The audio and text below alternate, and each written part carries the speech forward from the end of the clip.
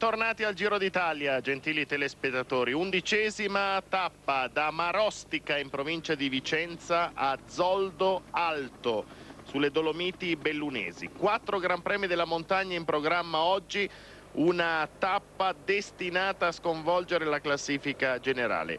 Ci si aspetta battaglia vera qui sulle rampe del Passo Duran e soprattutto nei chilometri conclusivi verso Zoldo Alto. Subito la situazione, percorsi 75 km, dunque siamo a metà percorso.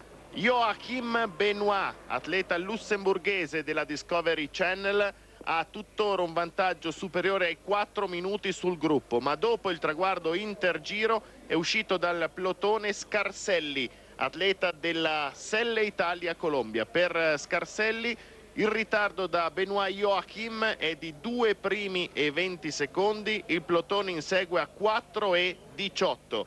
Davide Cassani, tutto è pronto per le montagne vere. È tutto pronto per le montagne vere, primo arrivo in salita, questa mattina partenza alle 12.56 da Marostica, gli ultimi 60 km è tutto un salire e scendere. Si comincerà con il passo Cereda, ma tutti hanno timore del passo Duran, una salita difficile, una salita lunga che è a pochi chilometri dal traguardo. In rapida successione vediamo i volti dei protagonisti, immagini del ritrovo di partenza dalla piazza degli Scacchi a Marostica. La classifica generale vede sempre al comando l'abruzzese Danilo Di Luca con 9 secondi di margine su Ivan Basso, al terzo posto Paolo Savoldelli, al quarto Damiano Cunego, quinto Dario David Cioni, sesto Gardini, decimo Gilberto Simoni.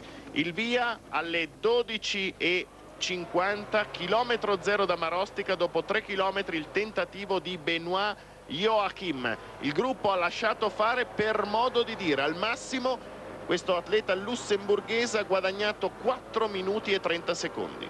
Dal momento che è un compagno di squadra di Savoldelli, la Lampreca Fit ha timore di questo attacco e non ha lasciato troppo spazio al campione lussemburghese che vediamo inquadrato in questo momento. Salita iniziale, quella della Rosina, molto cara ai cicloamatori vicentini. Questo è il ponte di Bassano, l'antico ponte del Palladio sul Brenta. Poi l'ascesa alle scale di Primolano, là dove si fece male Fausto Coppi, dove il campionissimo si ruppe il bacino nel 1950. Gruppo compatto però con Liquigas e Lampre a fare l'andatura, un segnale ben preciso da parte di queste due forti formazioni. Eccoli qua, stanno andando come il treno sulla destra gli uomini della Lampre con Stangel, con Sabagliauskas, sono loro che tengono alto il ritmo, per il momento di Luca in maglia rosa, tranquillo, sereno, sta a ruota. Questo è il traguardo intergiro immagini registrate da pochi minuti a Fonzaso, sessantesimo chilometro, è passato Joachim e Bettini conferma ogni giorno di più che vuole a tutti i costi la maglia ciclamino, anche perché Robbie McEwen, l'australiano titolare della classifica a punti, non sappiamo se completerà il Giro d'Italia, almeno gli anni scorsi si faceva il suo, il suo giro a metà e poi salutava tutti per preparare il Tour de France. Con questo secondo posto Bettini ha guadagnato 6 punti nella speciale classifica della maglia ciclamino e adesso di punti ne ha 112. Ricordiamo che McEwen di punti ne ha 116.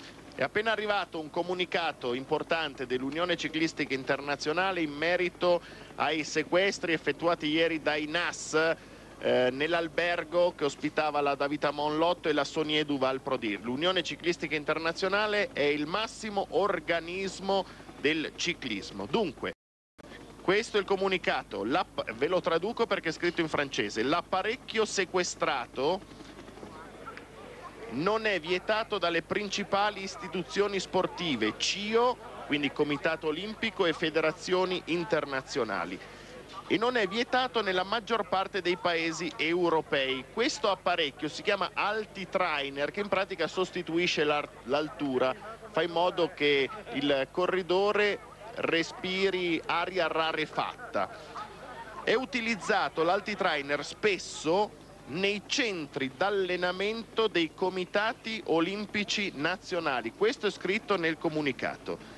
Rispettando pienamente le specificità della legge italiana, la legge italiana ritiene vietato questo apparecchio, è una situazione questa che dimostra l'urgenza di un'armonizzazione delle norme in materia della lotta al doping.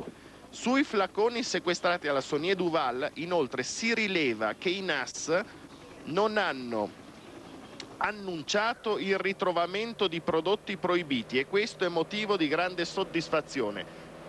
Ripeto, sto leggendo il comunicato dell'Unione Ciclistica Internazionale. Manifestiamo solidarietà a Sonier Duval Prodir e a Davitamon Lotto perché possano serenamente proseguire il proprio lavoro. Dunque, Luci ha messo le cose in chiaro, rispettando però la legge italiana, ma è intervenuto in merito anche il sottosegretario con delega allo sport, onorevole Mario Pescante, il quale ha detto io sono anni che mi batto perché ci sia armonizzazione, uniformità di trattamento nella lotta al doping, ma vengo purtroppo poco ascoltato, quindi deve intervenire la politica in questo caso. Davide. Sì, penso che la cosa più importante è uniformare tutte le leggi che ci sono qui in Europa, così non ci sono più problemi. Ci colleghiamo adesso con Radio Corsa, professor Fagnani, la situazione e l'ufficializzazione dell'Intergiro. Sì, buon pomeriggio anche da Radio Informazioni. Questi passaggi ufficiali all'Intergiro che era situato in località Fonzaso, sempre al comando intanto Benoit Joachim che è inquadrato in questo momento, corridore al comando praticamente dall'inizio della tappa e infatti anche a Fonzaso, località del traguardo Intergiro, è primo Joachim con un vantaggio di 3 minuti e 51 secondi a quel punto sul gruppo, in seconda posizione Bettini, quindi in terza posizione Kraus, seguito da Schmitz, Di Biase, Zanini, Pozzato, Schneider, Ziegler e Baldato. Eh, Kraus mantiene la maglia di leader della classifica Intergiro essendosi classificato in terza posizione a questo traguardo di oggi. La media a quel punto era di 43,190 mentre l'ultimo dato dopo due ore di corsa la media è scesa a 39,500. L'ultimo vantaggio di eh, Joachim su Scarselli, l'immediato inseguitore, 1 minuto e 35 secondi, mentre il gruppo viaggia sui 4 minuti. Siamo in località Fiera di Primiero dove è posto il rifornimento fisso. Grazie al professor Fagnani. Dunque andiamo a vedere adesso quello che aspetterà i corridori. Questi quattro Gran Premi della montagna può partire la ricognizione effettuata da Davide Cassani con Ivan Basso, uno dei favoriti del Giro. La Dolomitica non è molto lunga, 150 km. A 63 km dall'arrivo comincia la prima vera salita, il Passo Cereda. Oggi qui c'è un corridore che il Giro lo vuole vincere ed è ricognizione. Adesso proviamo a seguirlo, così lui ci può dare indicazioni molto utili. Mi aspetti però, eh?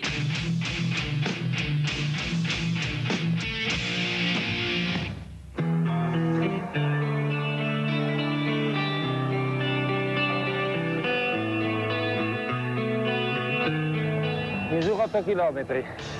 I primi due sono i più difficili. Le pendenze arrivano anche al 10% poi diventa più pedalabile. Di chilometri ne mancano 30 all'arrivo e comincia il passo Duran. Oh ma è sempre più dura, eh?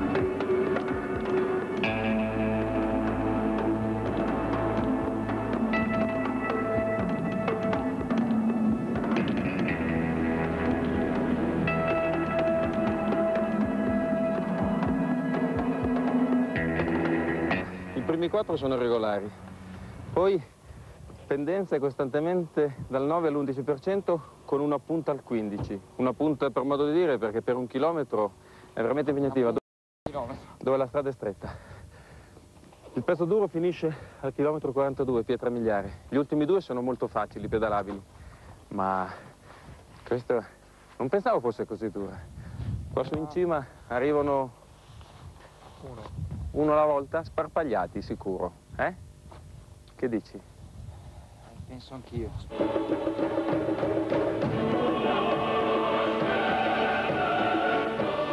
La discesa del Durano è tecnica, misura 8 km. Attenzione perché l'ultimo tratto è ripido, con la strada molto stretta. Dal fondo mancano 9 km, tutti in salita.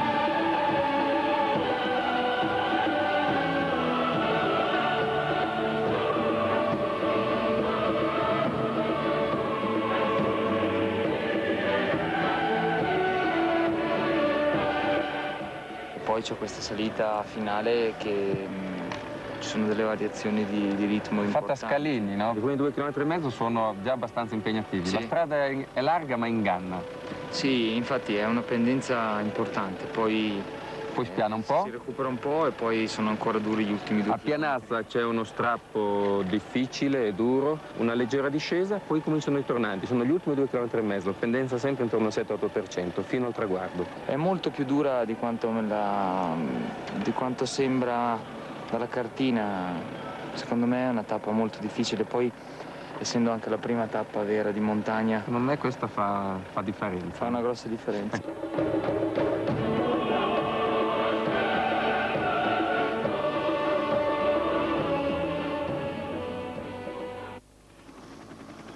C'era neve sul Dura neanche qui a Zoldo Alto quando ha effettuato la ricognizione Davide Cassani un mese fa circa. Sì, un mesetto fa. Era una giornata fresca, c'era ancora molta neve ed ecco qua il lancio del pallone sonda da parte dell'aeronautica.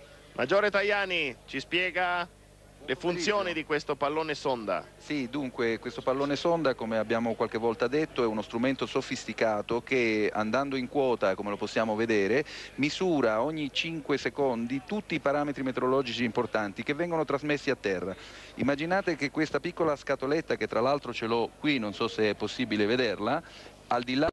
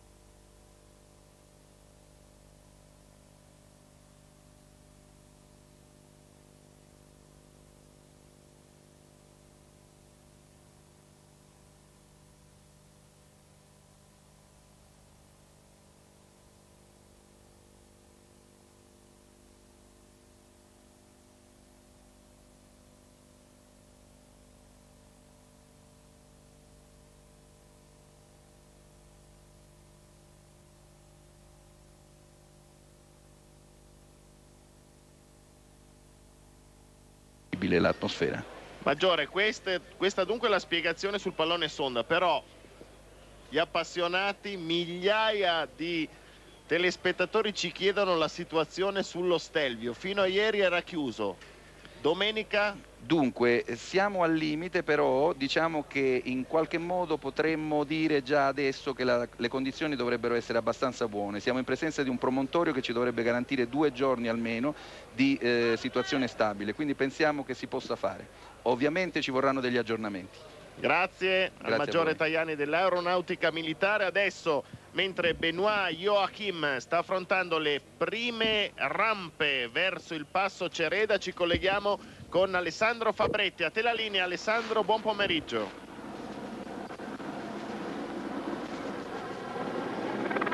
Non sento la voce di Alessandro, quindi presto ritenteremo di collegarci con lui. Benoit Joachim, un Tour de France al fianco di Lance Armstrong. Sì, aveva la maglia di campione lussemburghese, è un buon passista, si difende abbastanza bene in salita, non è la sua specialità.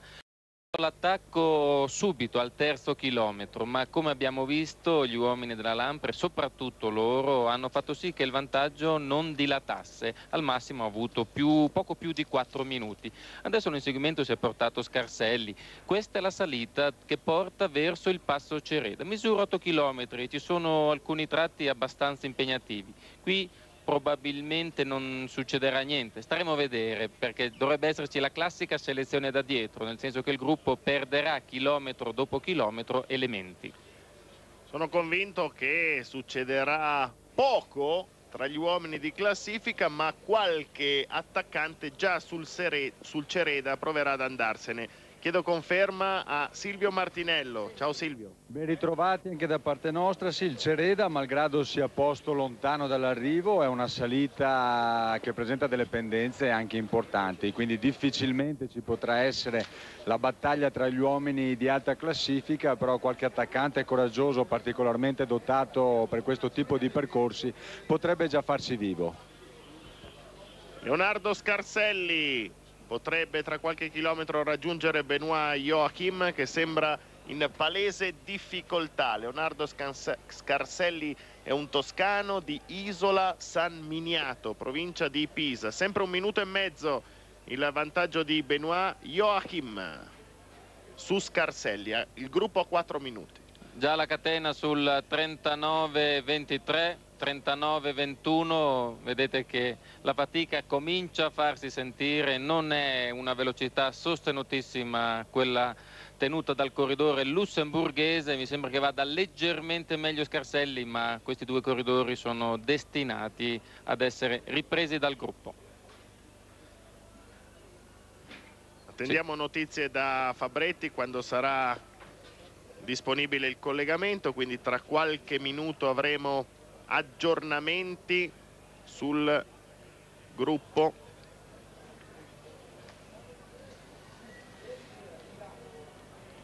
Dopo il Cereda passo Duran. Ci ha telefonato il sindaco di Agordo dicendo noi pronunciamo Duran quindi vi saremmo grati se anche voi diceste Duran ma l'abbiamo detto in apertura di trasmissione. In provincia di Belluno lo chiamano passo Duran ma la pronuncia è Duran. Dunque di qui in avanti sarà così.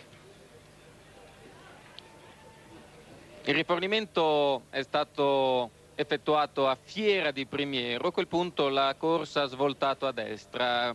Sinistra la strada avrebbe proseguito verso il Passo Rolle invece per arrivare qui a Soldo Alto i corridori affrontano questa salita. Passo Cereda e come vedete gli uomini della Lampre stanno tenendo un ritmo molto molto alto. Anche loro hanno cominciato la salita verso il passo Cereda. Questo è un segnale che lascia spazio a poche interpretazioni. Oggi Simoni e Cunego vogliono rendere dura la corsa. Silvio eh sì Auro, poche interpretazioni da quello che abbiamo visto fin dal mattino. Subito la Lampreca affitta a tenere saldamente in mano le operazioni, ora cominciano le salite e chiaramente per loro diventerà importante tentare di far recuperare i loro uomini di classifica e il ritardo che hanno nei confronti soprattutto di Ivan Basso. È una tappa, come abbiamo già avuto modo di dire, che in qualche modo gli favorisce perché insomma, le salite sono adatte soprattutto a scattisti come, Basso, come, scusate, come Simoni e Cunego e la loro squadra naturalmente ha già preso in mano le operazioni. Leonardo Scarselli, inquadratura dedicata a questo ragazzo del 1975, nato il 29 di aprile. Da segnalare un suo successo in una gara in Africa, Tour del Senegal, due anni fa. Sì, ha vinto la classifica finale del Giro del Senegal due anni fa. L'anno scorso nessun successo. Al Giro d'Italia si ritirò nella tappa di Falzes, era la sedicesima. Come miglior piazzamento anche lo scorso anno al Giro del Senegal, quando si è piazzato quarto nella classifica generale.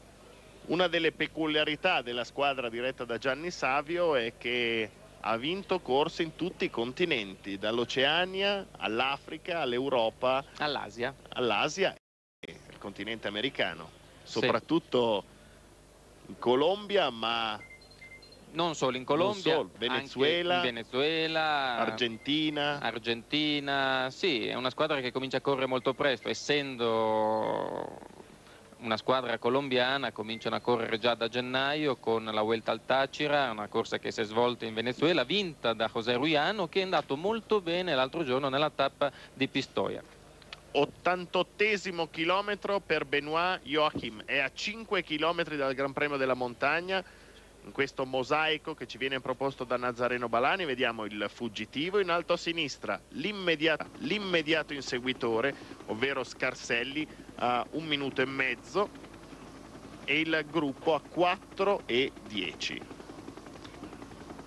ritiro di Daniele Nardello poco fa non inquadrato dalle nostre telecamere poi Alessandro Fabretti ci chiarirà i motivi di questo ritiro. Un Nardelli mai in evidenza purtroppo cominciato nei male, primi dieci giorni. Ha cominciato male la stagione con la caduta al Giro del Qatar, poi tanti ritiri, eh, si è ritirato Led Volk inizio marzo, si è ritirato la Tirreno Adriatico, non è riuscito a fare nessuna classica, si è presentato alla partenza di questo Giro d'Italia in non buone condizioni di forma e non è riuscito a trovare quel colpo di pedale che gli ha consentito negli anni scorsi di indossare la maglia azzurra, di vincere Zurigo, di vincere tante corse e oggi ha messo piede a terra.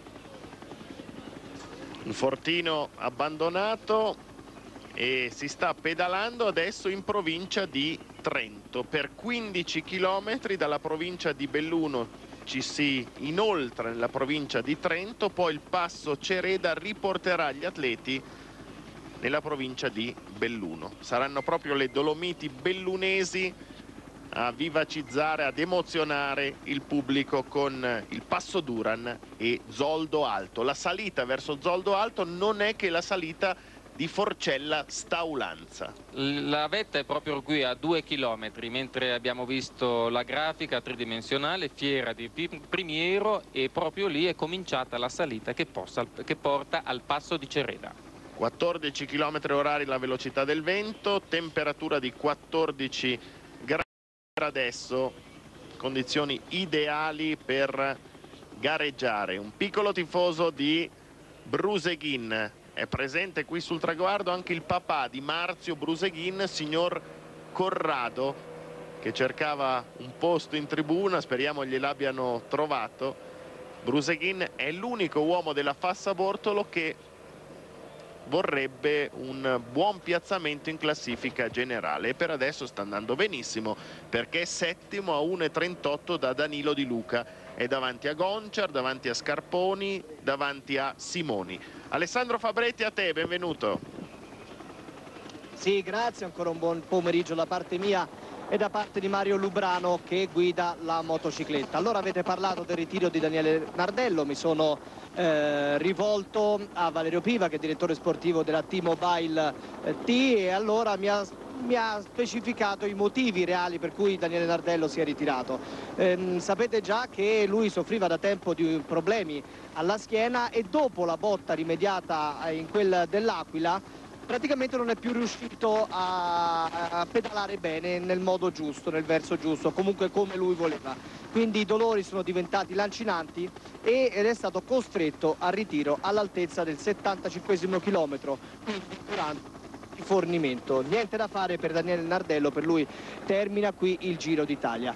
Il gruppo già si è sgranato, ormai allungatissimo, tanti corridori hanno già perduto contatto dalle prime posizioni, comunque dai migliori, da coloro che lottano per la classifica generale come Kirsi Più, Di Biase, Polak, insomma i velocisti puri, Robbie McEwen e la strada sale. L'asfalto è bellissimo, come bellissimo è anche il panorama con i suoi corsi d'acqua, con le sue sorgenti straordinarie, i suoi alberi e la sua natura. E poi in attesa naturalmente di arrivare nel territorio bellunese quando raggiungeremo le, le Dolomiti bellunesi, le Dolomiti Stars con il suo Civetta, il suo Falcade, Arabba, la Marmolata Marmolada, insomma ne vedremo delle belle e cercheremo anche noi di raccontarle. Comunque vi voglio dire anche che oltre alle formazioni di cui avete parlato, che naturalmente stanno cercando di far corsa dura come Lampreca, Fita, Ligigas, Bianchi, molto attivo, ho visto soprattutto negli ultimi chilometri la ceramica Panaria Navigare, non per Julio Alberto Perez Quapio che mi ha promesso farà corsa dura sabato o domenica, presumibilmente comunque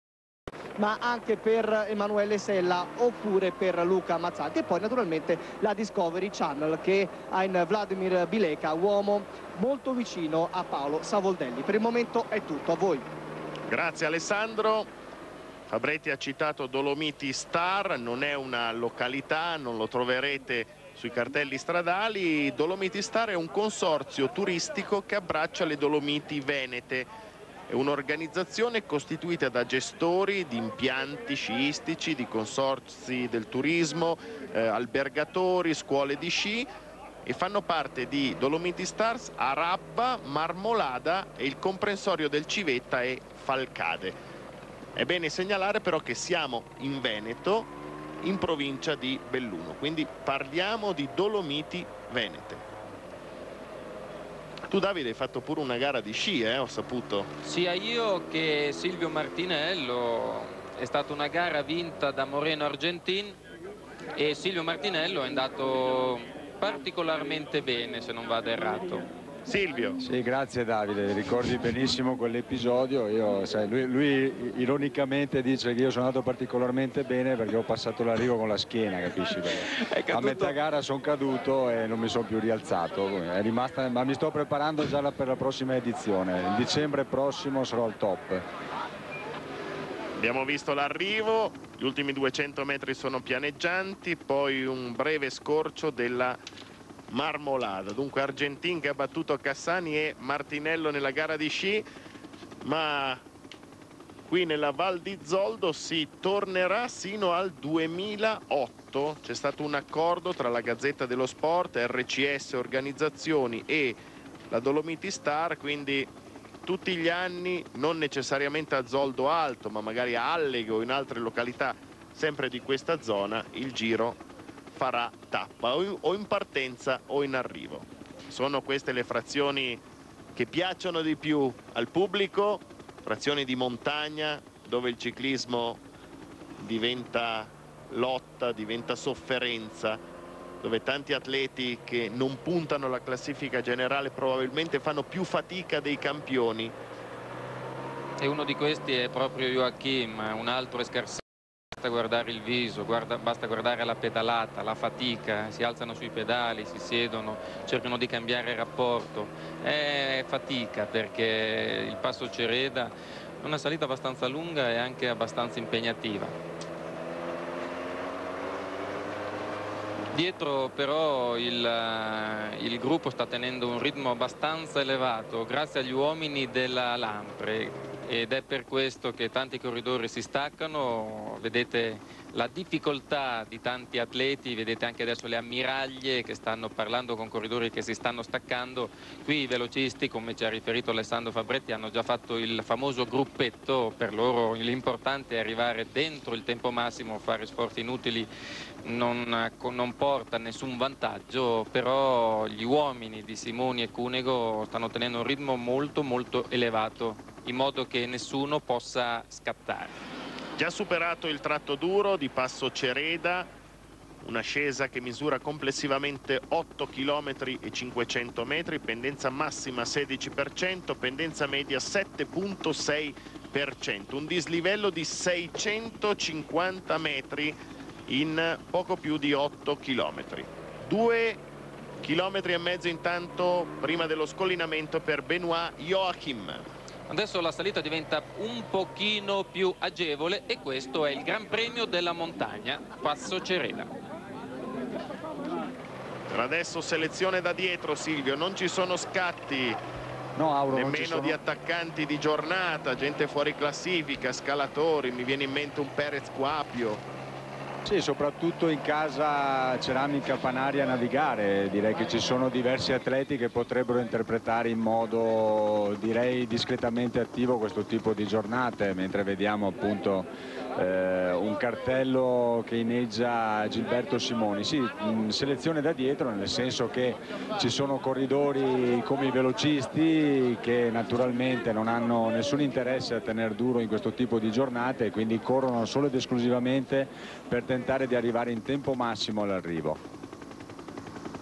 Il gruppo ha recuperato due minuti a Benoit Joachim si è già dimezzato il vantaggio, basta vedere il ritmo, la cadenza di Joachim e vedere il ritmo invece del gruppo per capire che la velocità è notevolmente diversa. Siamo ormai a un chilometro e mezzo dal Gran Premio della Montagna, il tentativo di Joachim è destinato a fallire nel giro di pochi chilometri e naturalmente anche quello di Scarselli. Complimenti ai nostri elicotteristi per averci fatto vedere una panoramica oltre che cronometrica, soprattutto visiva. Joachim a circa un chilometro di margine sul gruppo. Tifosi di Dario David Cioni, atleta dal doppio passaporto, ma potremmo dire italiano a tutti gli effetti, risiede vicino a Empoli, a Montelupo. Ci tengono. Eh sì. No, gli abitanti di Montelupo, lui sì, è nato a dir la verità come tu hai detto a Reading in Gran Bretagna ma è toscano al 100% anche se nella parlata c'è un po' di sì.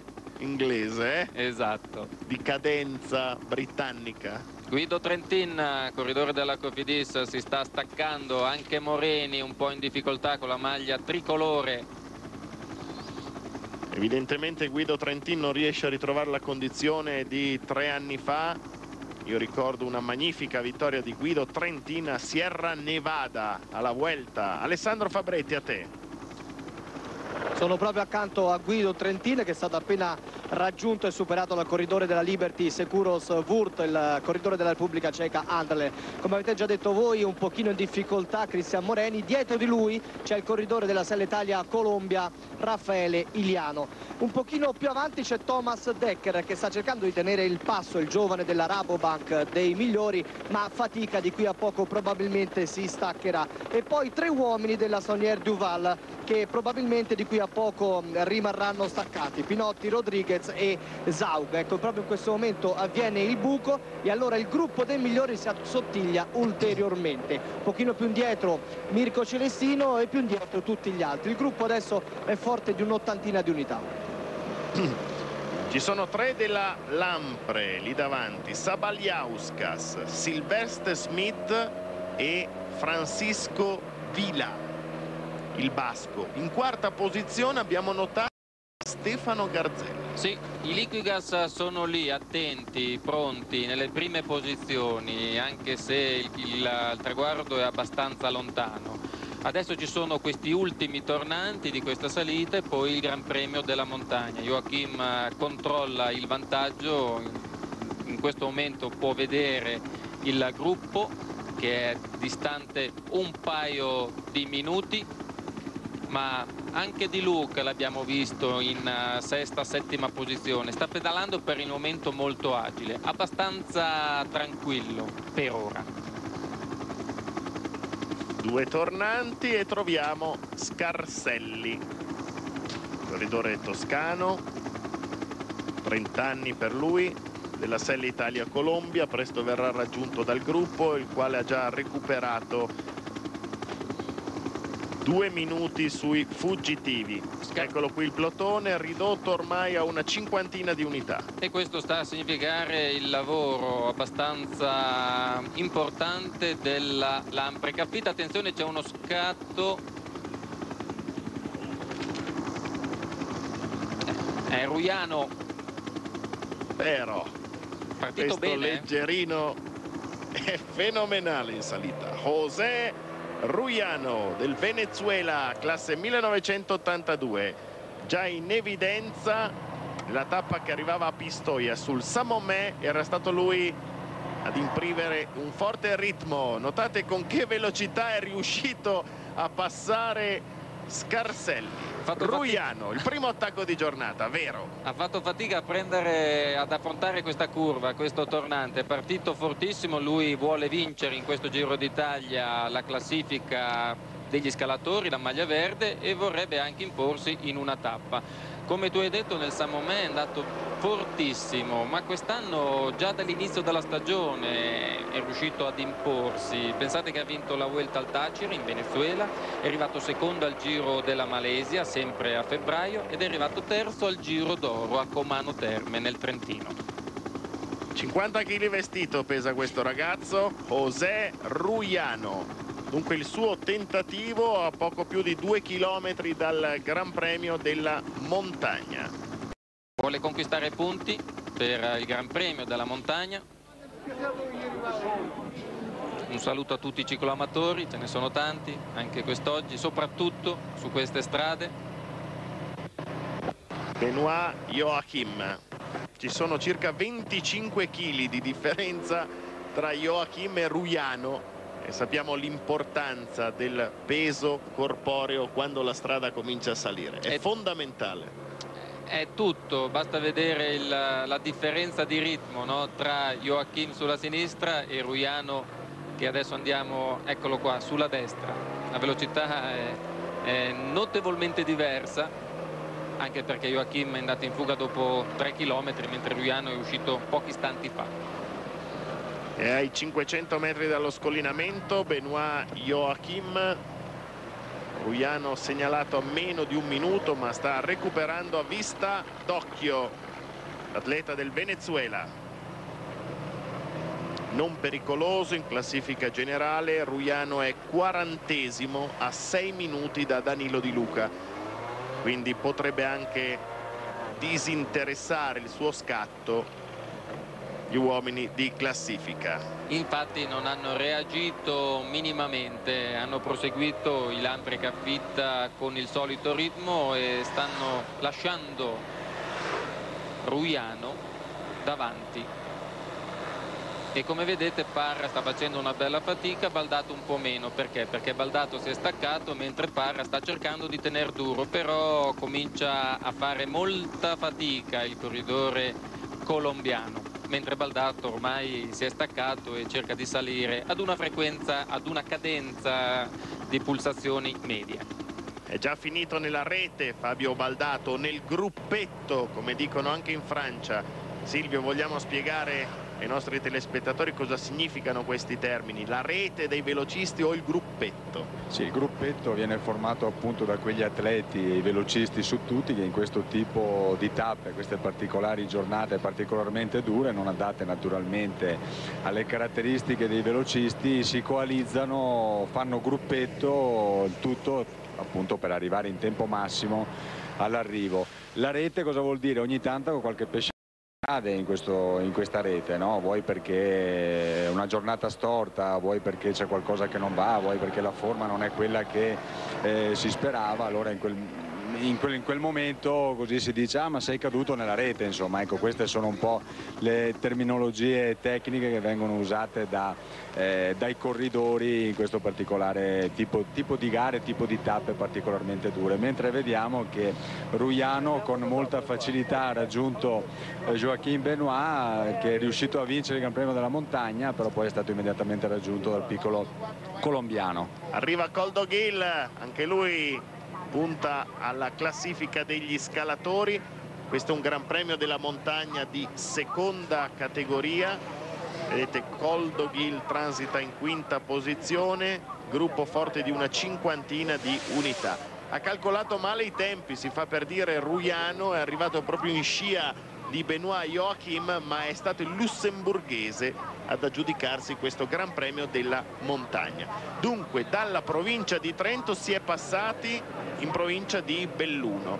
Adesso ci sarà una discesa di 5 km verso Miss, quindi uno strappo a Gosaldo e poi un altro GPM di terza categoria verso Forcella Aurine. È una salita di 3 km, non è molto difficile e in questo Gran Premio della Montagna Ruiano potrebbe guadagnare altri punti ed avvicinare Coldoghil nella classifica degli scalatori.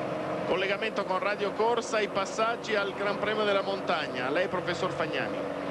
Allora i passaggi al Gran Premio della Montagna di Passo Cereda, primo è transitato il 77 Joachim, quindi il numero 43 Ruiano, la coppia al comando, a 45 secondi il primo gruppo con eh, in terza posizione il numero 59 Halgan, il concorrente della Credit Agricole. Dunque Halgan è riuscito a sopravanzare Coldo Gil. Non sappiamo il motivo, evidentemente anche Halgan sarà interessato ai GPM. Ecco dalla grafica la conferma di quanto detto dal professor Fagnani.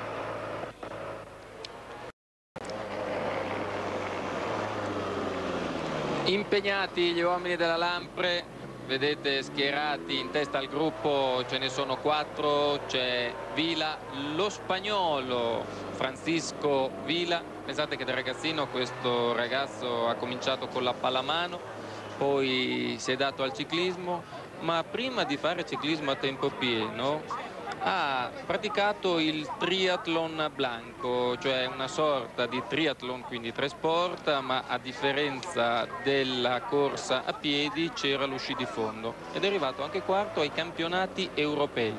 Solamente da 5 anni pratica il ciclismo a tempo pieno, è un corridore basco, vive in, uh, vicino a San Sebastian e quest'anno è nella squadra di Cunego e Simoni.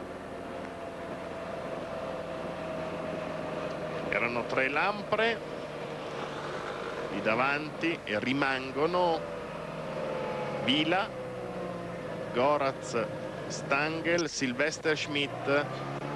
Stangel dovrebbe aver perso contatto. C'era Sabaliauskas che lo si può vedere in seconda posizione molto alto questo atleta, quasi 1,90, Marius Sabaliauskas, del 1978. Questa traiettoria non è stata delle migliori, ha stretto troppo presto la curva, non è riuscito ad avere una traiettoria ottima, mentre vedete i Lampre, questa curva l'hanno fatto decisamente meglio, sempre Vila in prima posizione, Sabaliauskas in seconda, e la maglia rosa che controlla. A differenza di Simoni e Cunego, Garzelli, Di Luca e Cioni pedalavano proprio nell'avanguardia del gruppo, alle spalle dei gregari Lampre Caffitta. Non vogliono farsi sorprendere, preferiscono stare lì davanti a controllare la situazione. Ancora qualche chilometro di discesa molto tecnica, poi tra un po' la corsa ritornerà a salire. Eccolo qua Benoit Joachim. Adesso sta cercando di riprendere vigore il suo tentativo, anche perché qui la strada è in discesa, ma proprio in questo momento finisce il primo tratto e adesso ritorna uno strappetto. Ecco il passaggio. Lì c'era il cartello dal Trentino Alto Adige con la sbarra quindi si è passati in Veneto dalla provincia di Trento a quella di Belluno Alessandro abbiamo calcolato una cinquantina di unità per il gruppo principale Beh sì, se non sono 50 sono 60, però giù di lì. Stiamo affrontando la discesa, una discesa molto tecnica, come avete già sostenuto voi, una discesa carica di curve, ma anche con un asfalto piuttosto bello. I tratti eh, in cui l'asfalto evidentemente non era al 100% è stato completamente rifatto, quindi i corridori non corrono alcun pericolo. Poi se calcoliamo il fatto che ci sia il sole e che non ci sia assolutamente vento, beh questo vi può dare la sensazione di come i corridori almeno in questo momento stiano affrontando questi chilometri in assoluta scioltezza.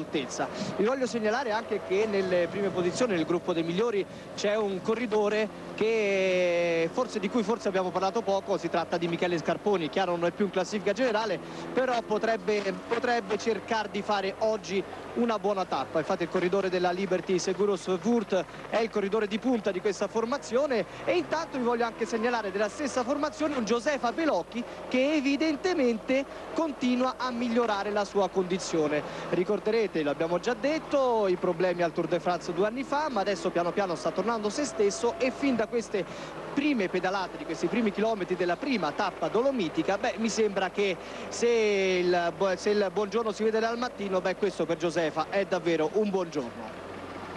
Belocchi più volte sul podio al Tour de France con Lance Armstrong, sempre secondo, d'accordo, però un grande regolarista. Ci fa piacere sapere e constatare che sta ritrovando la gamba strada facendo. Ci farebbe eh, piacere anche vedere qualche scatto da parte degli Euskaltel Euskadi, due nomi su tutti, Zubeldia e Aitor Gonzales, ma loro a differenza di Belocchi non sembrano assolutamente intenzionati a lasciare il segno in questo Giro d'Italia. Saremmo felici di essere smentiti, però per adesso questo è quanto. Non si sono mai visti, abbiamo visto Aitor uh, nella tappa di Frosinone un attacco a 3 km dall'arrivo ma poca roba. Aymar Zubella l'abbiamo visto solamente alle partenze. a dire la verità quest'anno non ha ottenuto nessun risultato, nessun piazzamento, mai una volta nei primi 25, ha in testa il Tour de France, ma mi piacerebbe vederlo in qualche tappa anche in questo Giro d'Italia. Nel frattempo Ruiano è stato raggiunto dal gruppo, evidentemente per Ruiano solamente era di interesse il passaggio al Gran Premio della Montagna, mantiene 20 secondi Benoit Joachim, anche lui ormai credo che non ne possa più, è presto, è presto gruppo, gruppo compatto adesso, quindi ok. In discesa, 100 km percorsi, meno di 50 al traguardo, gruppo compatto. E adesso sempre gli uomini della Lampre. Aspettiamoci fuochi d'artificio sul passo Duran. Prima era difficile ipotizzare qualche attacco. Eccolo qui proprio il momento in cui il gruppo ritorna compatto, quel che resta del gruppo dal momento che erano 50-60. Si fanno una partita a carte questi tifosi, d'altronde non c'è il maxi schermo, qui a Palafavera, Zoldo Alto, e si accontentano della radio, seguono via radio quel che succede al giro per poi assistere De Visu al, allo sprint, al traguardo, sempre che sprint ci sia perché potrebbe anche arrivare un corridore da solo oggi. È il primo arrivo in salita, eh, non, non sarebbe una sorpresa. In testa intanto vediamo Sabagliauskas, questo ragazzo che risiede a Monticelli Brusati, provincia di Brescia da dilettante è arrivato quarto al Giro d'Italia e quarto anche ai campionati del mondo. È passato professionista nel 2001. Eh, Perez Quapio lo vedo proprio in coda. Ma anche lui. Anche lui alterna, alterna stagioni magiche. Quest'anno sembrava essere tornato il grande Quapio, il grande scalatore al Giro del Trentino. E invece adesso è lì in coda magari sta salvando la gamba per il passo Duran però ci ha detto Roberto Reverberi che sino a due giorni fa accusava eh, grossi eh, problemi, dolori di gambe gli hanno fatto delle analisi e sembra che sia tutto posto però rimane questo dolore alle gambe a Perez Guapio e non si conosce l'origine. Al Trentino è riuscito ad imporsi finalmente quest'anno ha vinto la classifica finale, è arrivato terzo in una tappa, ma lo scorso anno non aveva combinato proprio niente al Giro d'Italia. Un 33 posto nella classifica generale e un quinto posto nella tappa di Bormio. Lui che al Giro d'Italia di tappe ne ha vinte tre negli anni scorsi. Eh, ricordi sul Pordoi con Simoni, che bella tappa fu. Fabretti, sì, in effetti Julio Alberto Perez Quapio era nelle retrovie in ultima posizione, ma non perché non ce la facesse, anche perché eh, fino a questo momento aveva pedalato molto bene, ma perché Luca Mazzanti aveva forato. Siccome lui non punta a questa tappa, ma ripeto, come mi ha detto lui, punta alle tappe di sabato o domenica, allora almeno oggi sta facendo da gregario. Mazzanti si è fermato, ha cambiato la sua ruota posteriore e adesso si è lasciato sfilare Alberto Perez Quapio. Di qui a poco riporterà Mazzanti in gruppo e risalirà anche lui. Beh, confortante quello che ci dici. Noi vorremmo rivedere un Perez Quapio competitivo perché in salita offriva dei gesti atletici di primissimo ordine. D'accordo, solo al Giro d'Italia, al Tour de France non si è mai visto Perez Quapio, però le qualità in salita del messicano sono indiscutibili. Nel 2000 è stato uno tra i più bravi quando riuscì a vincere a San Giacomo, ti ricordi quell'arrivo in salita provincia di Ascoli e riuscì a vincere nella tappa di Corvara, questo nel 2002. E l'anno precedente lui con Simoni sul Pordoi, d'accordo, Simoni lo lasciò vincere, però, però erano in due. Era lì, esatto. non erano mica in tanti. E quando gli è saltata la catena a Montevergine, incredibile. Anche là era in fuga da solo. Certo. È la prima volta che ci accorgemmo di questo messicano Perez Quacchio di Tlaxcala. Mi sembra che il paese dove è nato sia oltre 2000 metri d'altitudine. A proposito di aria rarefatta, di altura. Di altura. Danilo Di Luca quest'anno è rimasto 40 giorni assieme ad altri compagni di squadra, compreso Cioni a Toluca, proprio in Messico, proprio per eh, una forma di ossigenazione certo. naturale che gli è servita i mesi successivi. Allenamenti fanno normalmente atleti che praticano la maratona, ma anche i mezzofondisti, è usanza fare proprio questi stage di allenamento in altura. Il gran lavoro di Marius Abaliauskas. Non è che stanno esagerando i Lampre, Silvio? Ma sai, non è che stanno esagerando, stanno tenendo un ritmo direi che non è, che è troppo alto per chi si è staccato, ma naturalmente non per i loro capitani, direi che stanno facendo un ottimo lavoro, sai, sono, qui, sono venuti qui mentalizzati a fare questo tipo di lavoro, sapevano benissimo che quando sarebbero arrivate le montagne sarebbe toccato a loro, lo stanno interpretando al meglio, soprattutto Sabaliauskas, eh, l'abbiamo visto da questa mattina nelle prime posizioni, eh, immagino che sarà difficile per loro rimanere in quella posizione sul passo Duran, eh, ma comunque fino ad ora ottimo il loro lavoro. Ah, sicuramente sul Duran ci saranno fuochi d'artificio. Eh sì. E adesso invece siamo sulle, sulla Forcella Aurine. Tra un po' c'è il Gran Premio della Montagna di terza categoria. Quindi già superato il paese di Miss, quello di Gosaldo, si salirà sino ai 1300 metri d'altitudine di Forcella Aurine, GPM di terza categoria. Poi ci sarà una lunga discesa dai 1299 metri del Gran Premio della Montagna, si scenderà verso Agordo a 608 metri, una discesa di una quindicina di chilometri. Mazzanti in coda al gruppo, Fabretti sarà il capitano ma mi sembra che stia faticando no, non no, poco no. Luca Mazzanti, o no? No, non è proprio così, nel senso che eh, oltre ad aver forato la ruota posteriore ha adesso problemi alla sella, quindi si è portato nuovamente alla sua ammiraglia il meccanico ha sistemato la sella e adesso sta cercando di rientrare in corsa. È chiaro che lo sforzo profuso è stato notevole, quindi probabilmente almeno in questo momento sta cercando di rifiatare per poi riportarsi nelle prime posizioni. Invece in ultima ruota vedo Paolo Bettini che ha cercato di pedalare accanto a Danilo Di Luca almeno finché ha potuto, ma adesso lo vedo lì un pochino affaticato e chissà tra poco potremmo vederlo anche sfilato. Luca Mazzanti, a detta di Reverberi, è il corridore al momento più in forma della propria squadra. La Ceramiche Panari a navigare, mentre l'uomo di classifica dovrebbe restare Emanuele Sella.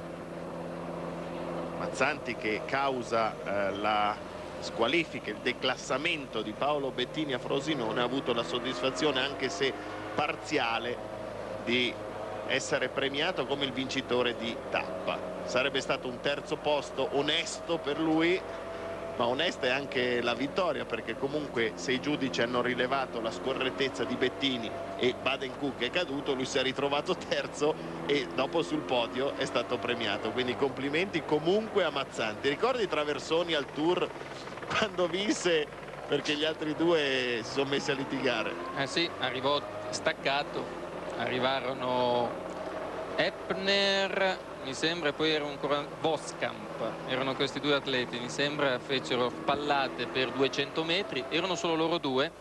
Traversoni vinse la volata per il terzo posto a 40 secondi. La giuria squalificarono i primi due e Traversoni si ritrovò vincitore di una tappa al tour. Fu quell'anno magico in cui gli italiani vinsero 7-8 tappe di fila proprio sulle strade di Francia. Continua l'azione di Marius Sabaliauskas, corridore lituano. Qui adesso la salita è molto facile, vedete anche la velocità è aumentata molto, il gruppo è in fila indiana, sono rientrati diversi corridori. Un chilometro e mezzo ancora di salita, poi una lunga discesa verso Voltago Agordino e Agordo. Sempre Perez Quapio in coda che ha chiamato l'ammiraglia. Thomas Decker resiste eh? Sì, si era staccato come ci ha riferito Alessandro Fabretti ma è riuscito a rientrare. Era con Moreni e lo vediamo sempre in coda al gruppo principale. Quattro uomini Lampre Caffitta lì davanti con la maglia rosa in ottava posizione. Maglia rosa indossata da Danilo Di Luca. Una stagione fantastica per l'abruzzese di Spoltore Adesso Eccolo Ruiano. lì Danilo Di Luca, c'è Ruiano che avanza per guadagnare i soliti punti al GPM. E farà la volata con Algand, il corridore della Credit Agricole. Eccolo lì che Ruiano sta controllando, eccolo lì. Volata Ruiano Algan. E vai. Vediamo. Non è una volata adatta al corridore venezuelano, però può darsi che Algan si accontenti. Vedremo, ma la, il, il Premio della Montagna è ancora abbastanza lontano. Ruiano è partito anche questa volta un po' troppo presto, mancano, mi sembra, 500 metri. Algan fino a stamani aveva 4 punti nella graduatoria dei Gran Premi della Montagna contro i 21 punti di Coldoghill, i 16 di Ruiano. Beh, qui dai una salitella, proprio 3-4%. Sì, è praticamente, nel finale, eh? è praticamente pianura. Ecco che parte al GAN. Il Ruiano fa secondo anche qui. Eh, potrebbero anche proseguire adesso in discesa. Il gruppo lascia fare. E adesso comincia una lunghissima discesa e vedete che Basso si sta portando davanti perché la discesa è abbastanza insidiosa. Ruiano dovrebbe rialzarsi. 13 km Davide, sino ad Agordo. Sì. Algandi invece vorrebbe proseguire mentre vedete che Ruiano sta sciogliendo un po' la muscolatura non ha guadagnato granché perché questo era un gran premio della montagna di terza categoria ha guadagnato due punti condizioni dell'asfalto almeno dalle immagini Ottime. molto buone sembra appena rifatto fatto. da poco sì, sì sì appena rifatto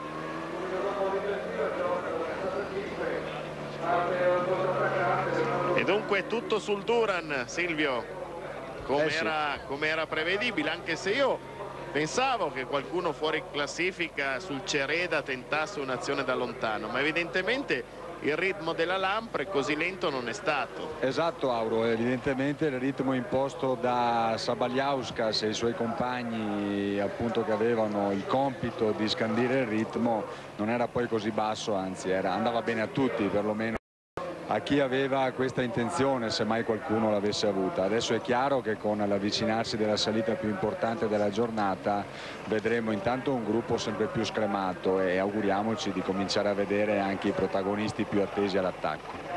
Intanto Ruiano con i punti guadagnati ha raggiunto in cima alla classifica di GPM Coldo Ghill, atleta di Pamplona, vincitore della tappa a Pistoia.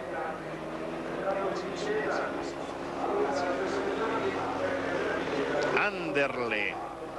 Vediamo con la maglia blu della Liberty Seguros.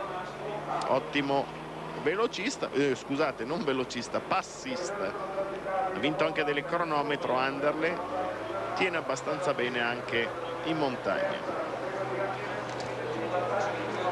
Chiede l'intervento dell'ammiraglia Ruben Elvira Lobato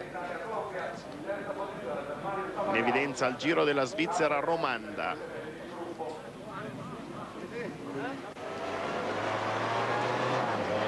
E qui siamo su Francesco Bellotti della Credit Agricole.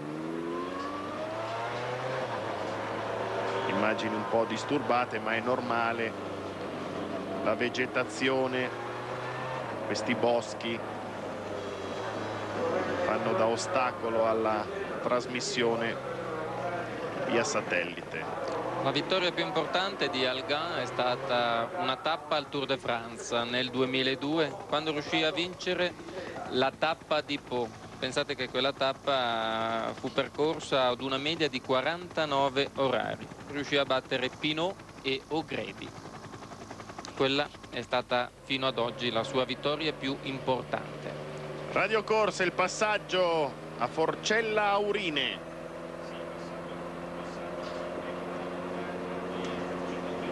della montagna di terza categoria, Forcella Aurine dopo 105 km della tappa. Primo è transitato il numero 59 Algan, Patrice Algan della Credita Agricola in seconda posizione il numero 43 Ruiano José Rugliano della Sella Italia Colombia. Il gruppo è transitato a 12 secondi, in terza posizione si è classificato Sabaljauskas, il numero 6 di dorsale della Lampre Caffita. Ecco il paese a Gordino, Voltago a Gordino. Poi si arriverà invece ad Agordo, comune principale di questa zona, attorno al quale ci sono le palle di San Lucano, il Monte Agner, la valle del Cordevole, il paese degli occhialai, Agordo. Primo piano di Patrice Algan, corridore francese, vedete che il vantaggio non è molto elevato, 16 secondi. Sempre Ilampre Caffitta vedere la maglia verde Credita Agricole. Ci dispiace constatare come il capitano Pietro Caucchioli non abbia ancora trovato la giusta cadenza di pedalata. Un forte ritardo in su in classifica 5 minuti a cronometro è andato pianissimo. Si era staccato anche sul San Mommè Cosa può essere successo Silvio? Mi sembrava molto convinto all'inizio del giro Pietro Caucchioli. Sì, era molto convinto delle sue possibilità, ma evidentemente eh, ha sbagliato qualcosa, perché è chiaro non è mai stato un grosso specialista del, del cronometro, ma effettivamente insomma cronometro a Firenze ha perso moltissimo. Ora è chiaro che in queste giornate avrà modo anche lui magari di ritagliarsi un momento di, di gloria per far capire che c'è anche lui in questo giro, ma è evidente che per la classifica generale credo che ormai ormai abbia perso ogni più rosea speranza di, di, poter, fare, di poter ottenere un buon piazzamento.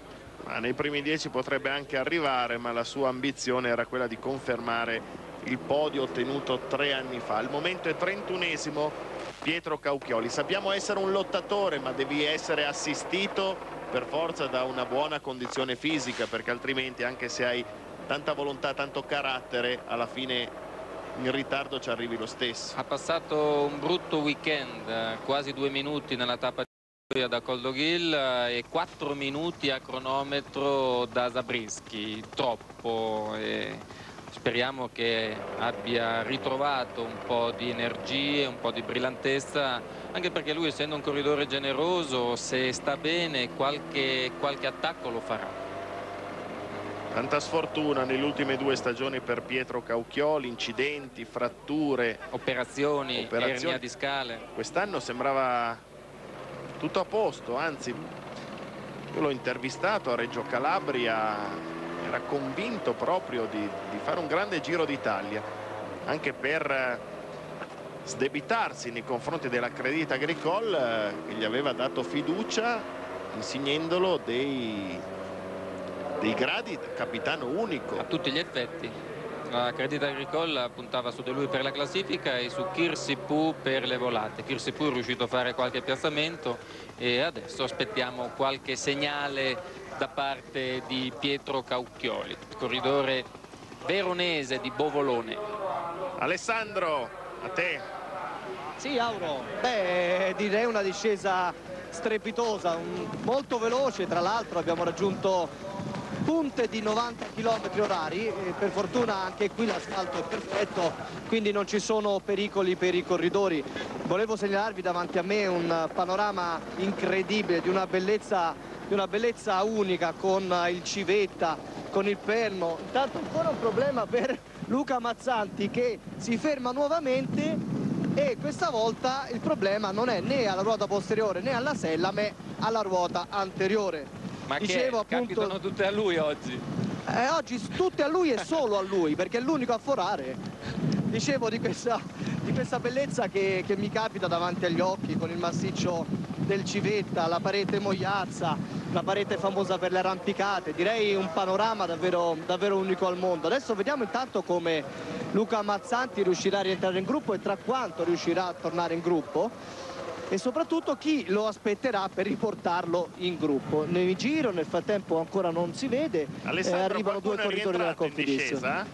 Ma come avete detto voi, no, come avete detto voi, sono, occhio, ecco, un occhio al nostro Mario Rubrano che fa passare giustamente Cedric Vasser, corridore della Cofidis, che sta rientrando in questo momento il gruppo. Dicevo, come avete detto voi, erano rientrati corridori come Cristian Moreni, però per il resto in discesa in pratica non è rientrato nessun altro, ad eccezione di Alexander Kolobnev, il corridore lusso della Rabobank. Per il resto mi volto ancora e vedo il solo Luca Mazzanti, questa volta sì solo, che cerca di rientrare. Ancora curve, controcurve, prima a sinistra, poi a destra e il gruppo che procede a 70 km orari. A voi. Grazie Alessandro, naturalmente priorità alla sicurezza. Mi raccomando sia te che Mario Lubrano non rischiate nei tratti in discesa. Alpinismo 25 secondi il vantaggio di Patrice Algan. Cosa succederà sul Duran, Davide? Succederà che gli uomini della Lampre scatteranno. Non sappiamo se sarà prima Simoni o prima Cunego. Io penso che il primo a scattare dalla Lampre sia Gilberto Simoni, però posso anche sbagliarmi potrebbe anche esserci uno scatto, uno scatto, di Ruiano che abbiamo visto molto brillante nelle salite precedenti ma Ruiano non è un corridore che impensierisce gli uomini che lottano per la maglia rosa. Staremo a vedere come reagirà Basto che dovrebbe correre sulla difensiva quest'oggi ma soprattutto cosa riusciranno a fare i Liquigas Bianchi e Savoldelli. Savoldelli che fino a questa mattina è stato perfetto se non nella tappa di Frosinone dove causa una caduta non sua ha perso 43 secondi secondi. Sarebbe in maglia rosa, eh, senza quell'inconveniente. Ecco, è stato uno dei pochi corridori che è andato fortissimo sul San Mommen nella tappa di Pistoia e molto bene anche nella cronometro, quella di Firenze, dove si è classificato terzo. Parlando con Silvio Martinello, quando ancora non eravamo in telecronaca, ci ha riferito che un Savoldelli in discesa dal Duran potrebbe guadagnare circa un minuto sui diretti avversari Silvio Ma Savoldelli conosciamo... e lo stesso me, me l'ha confermato Maurizio Fondries cioè, conosciamo non ti sento più sì, ecco Adesso sì. Ecco, conosciamo di Savoldelli le sue straordinarie qualità di discesista. Eh, credo che se decidesse di di attaccare nella discesa del Duran eh, intanto darebbe grande spettacolo e potrebbe senza dubbio arrivare in fondo alla discesa e quindi ai piedi della salita finale che porta qui a Palafavera con un discreto margine di vantaggio che poi sì, dovrebbe saper amministrare e gestire naturalmente in questi 8 km finali. Però Savoldelli eh, direi che potrebbe essere una delle alternative che c'è sul tavolo una delle possibilità che c'è sul tavolo per cercare di capire cosa potrà accadere nel finale di questa tappa.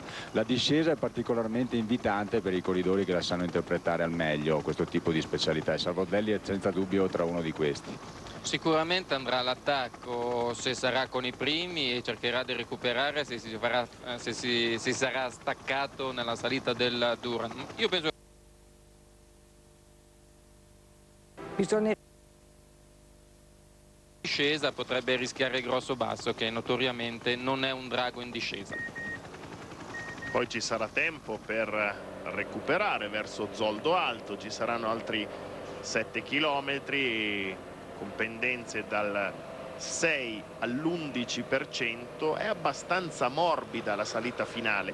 Molto più duro il Duran scusate il gioco di parole ma è così. Senza ombra di dubbio quest'ultima salita è abbastanza pedalabile ok la corsa è stata abbastanza tirata anche sul Cereda il gruppo non ha sonnecchiato molto e la fatica si farà sentire ma se differenze ci saranno saranno soprattutto sul Duran. Agordo. Ci siamo ormai. 30 km al traguardo.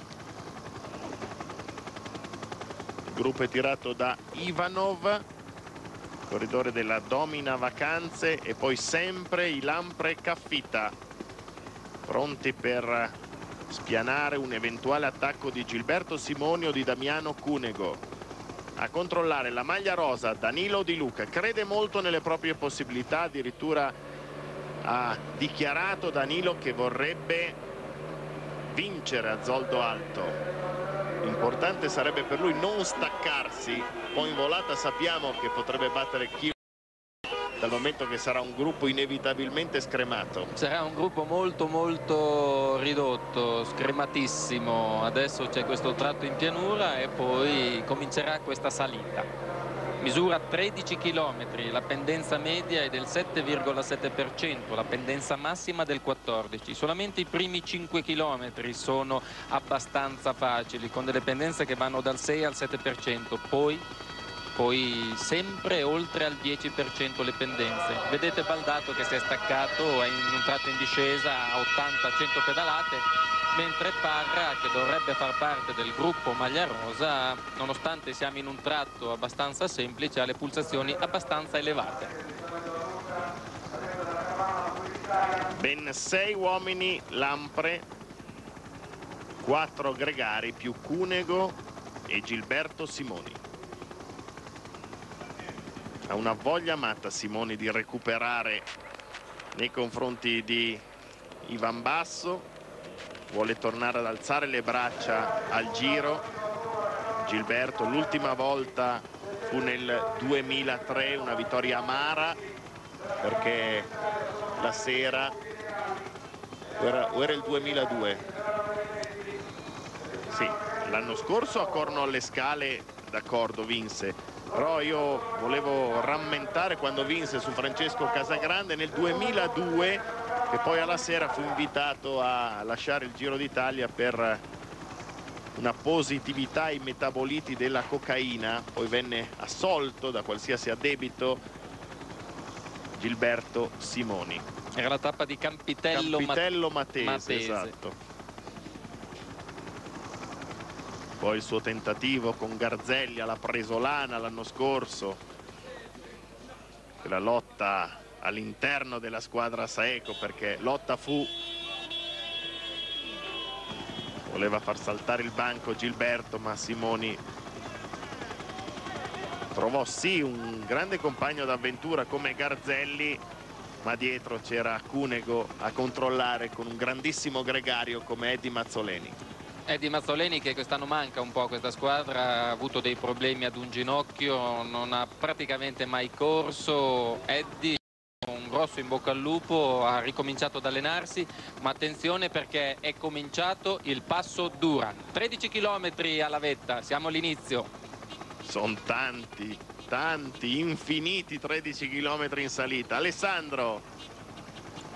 Proprio qui il cartello GPM fra 13 km comincia la salita, per il momento è una salita molto lieve, però nel tratto in discesa subito dopo l'ultimo collegamento che ho effettuato sono rientrati diversi corridori, corridori che proprio scalatori non sono e allora potrebbero essere importanti per coloro che invece puntano alla classifica generale. Tra gli altri è rientrato anche Giovanni Lombardi della CSC che probabilmente di qui a poco vedremo in ammiraglia insieme con Biarne Ries. Grande confusione perché adesso appunto molti corridori cercano di chiedere, cercano di, di avere avere il supporto dei propri direttori sportivi borracce, acque liquidi per affrontare questi 13 km. Intanto eh, abbiamo superato l'abitato di Agordo che mi hanno detto questa mattina nei tempi passati famoso anche per le miniere di ferro. A voi.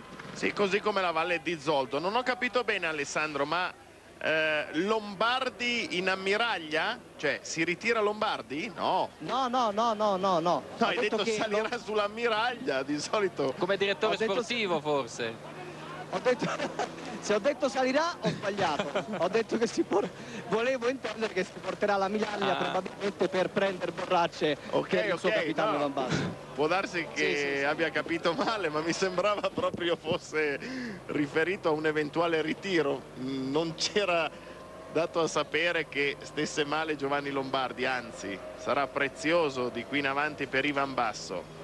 Nei primi 4 km non dovrebbe succedere granché perché come vi dicevo le pendenze non sono impossibili. Dovrebbe scattare il primo corridore intorno al quinto, sesto chilometro quando le pendenze saranno molto molto elevate. Patrice Algan allungato subito dopo il Gran Premio della Montagna di Forcella Aurine per lui 30 secondi anche 40 ma insomma tentativo sterile per il francese.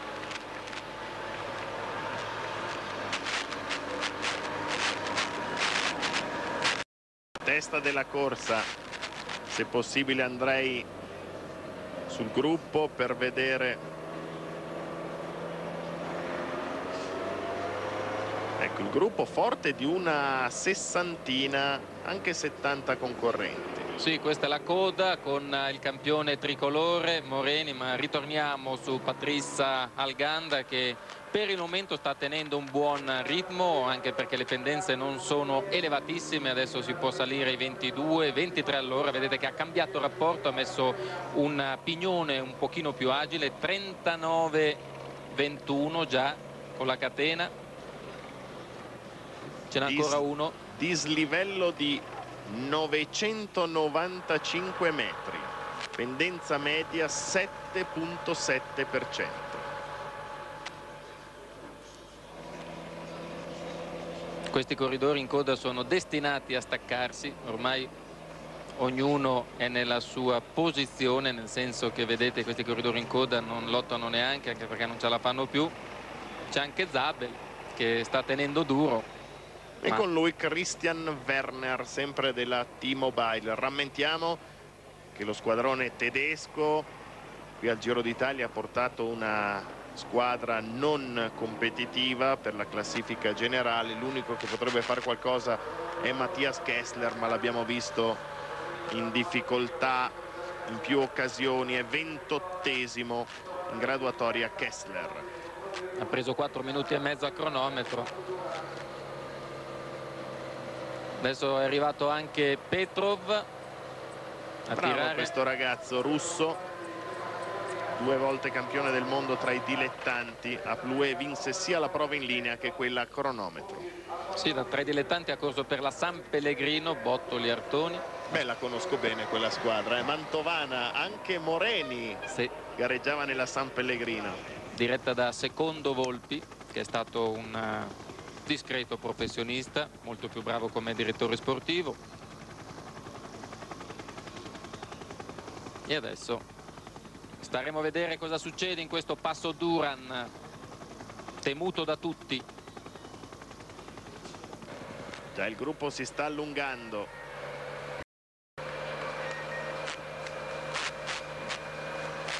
Undici chilometri alla vetta. Patrice Algan 30 secondi non di più il suo vantaggio. Adesso vedremo in tempo reale quanto ha il transalpino. C'è Selle in quinta posizione c'è Ivan Basso in ottava. La maglia rosa si è leggermente defilata. 19 secondi quindi perde ancora Patrice Algamma lo sapevamo. Era ovvio che fosse così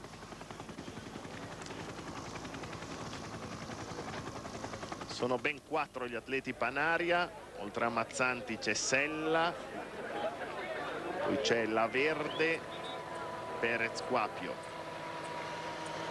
e staremo, staremo a vedere cosa riuscirà a fare Danilo Di Luca. Per il momento è lì davanti sta andando via molto agile. È una salita che quando sta bene non, non si stacca però potrebbe già cominciare fin da oggi ad accusare un po' la fatica di questa lunghissima primavera lunghissima per lui perché è dall'inizio del marzo che sta andando come un treno. In difficoltà Pinotti inevitabilmente adesso ci saranno delle fratture.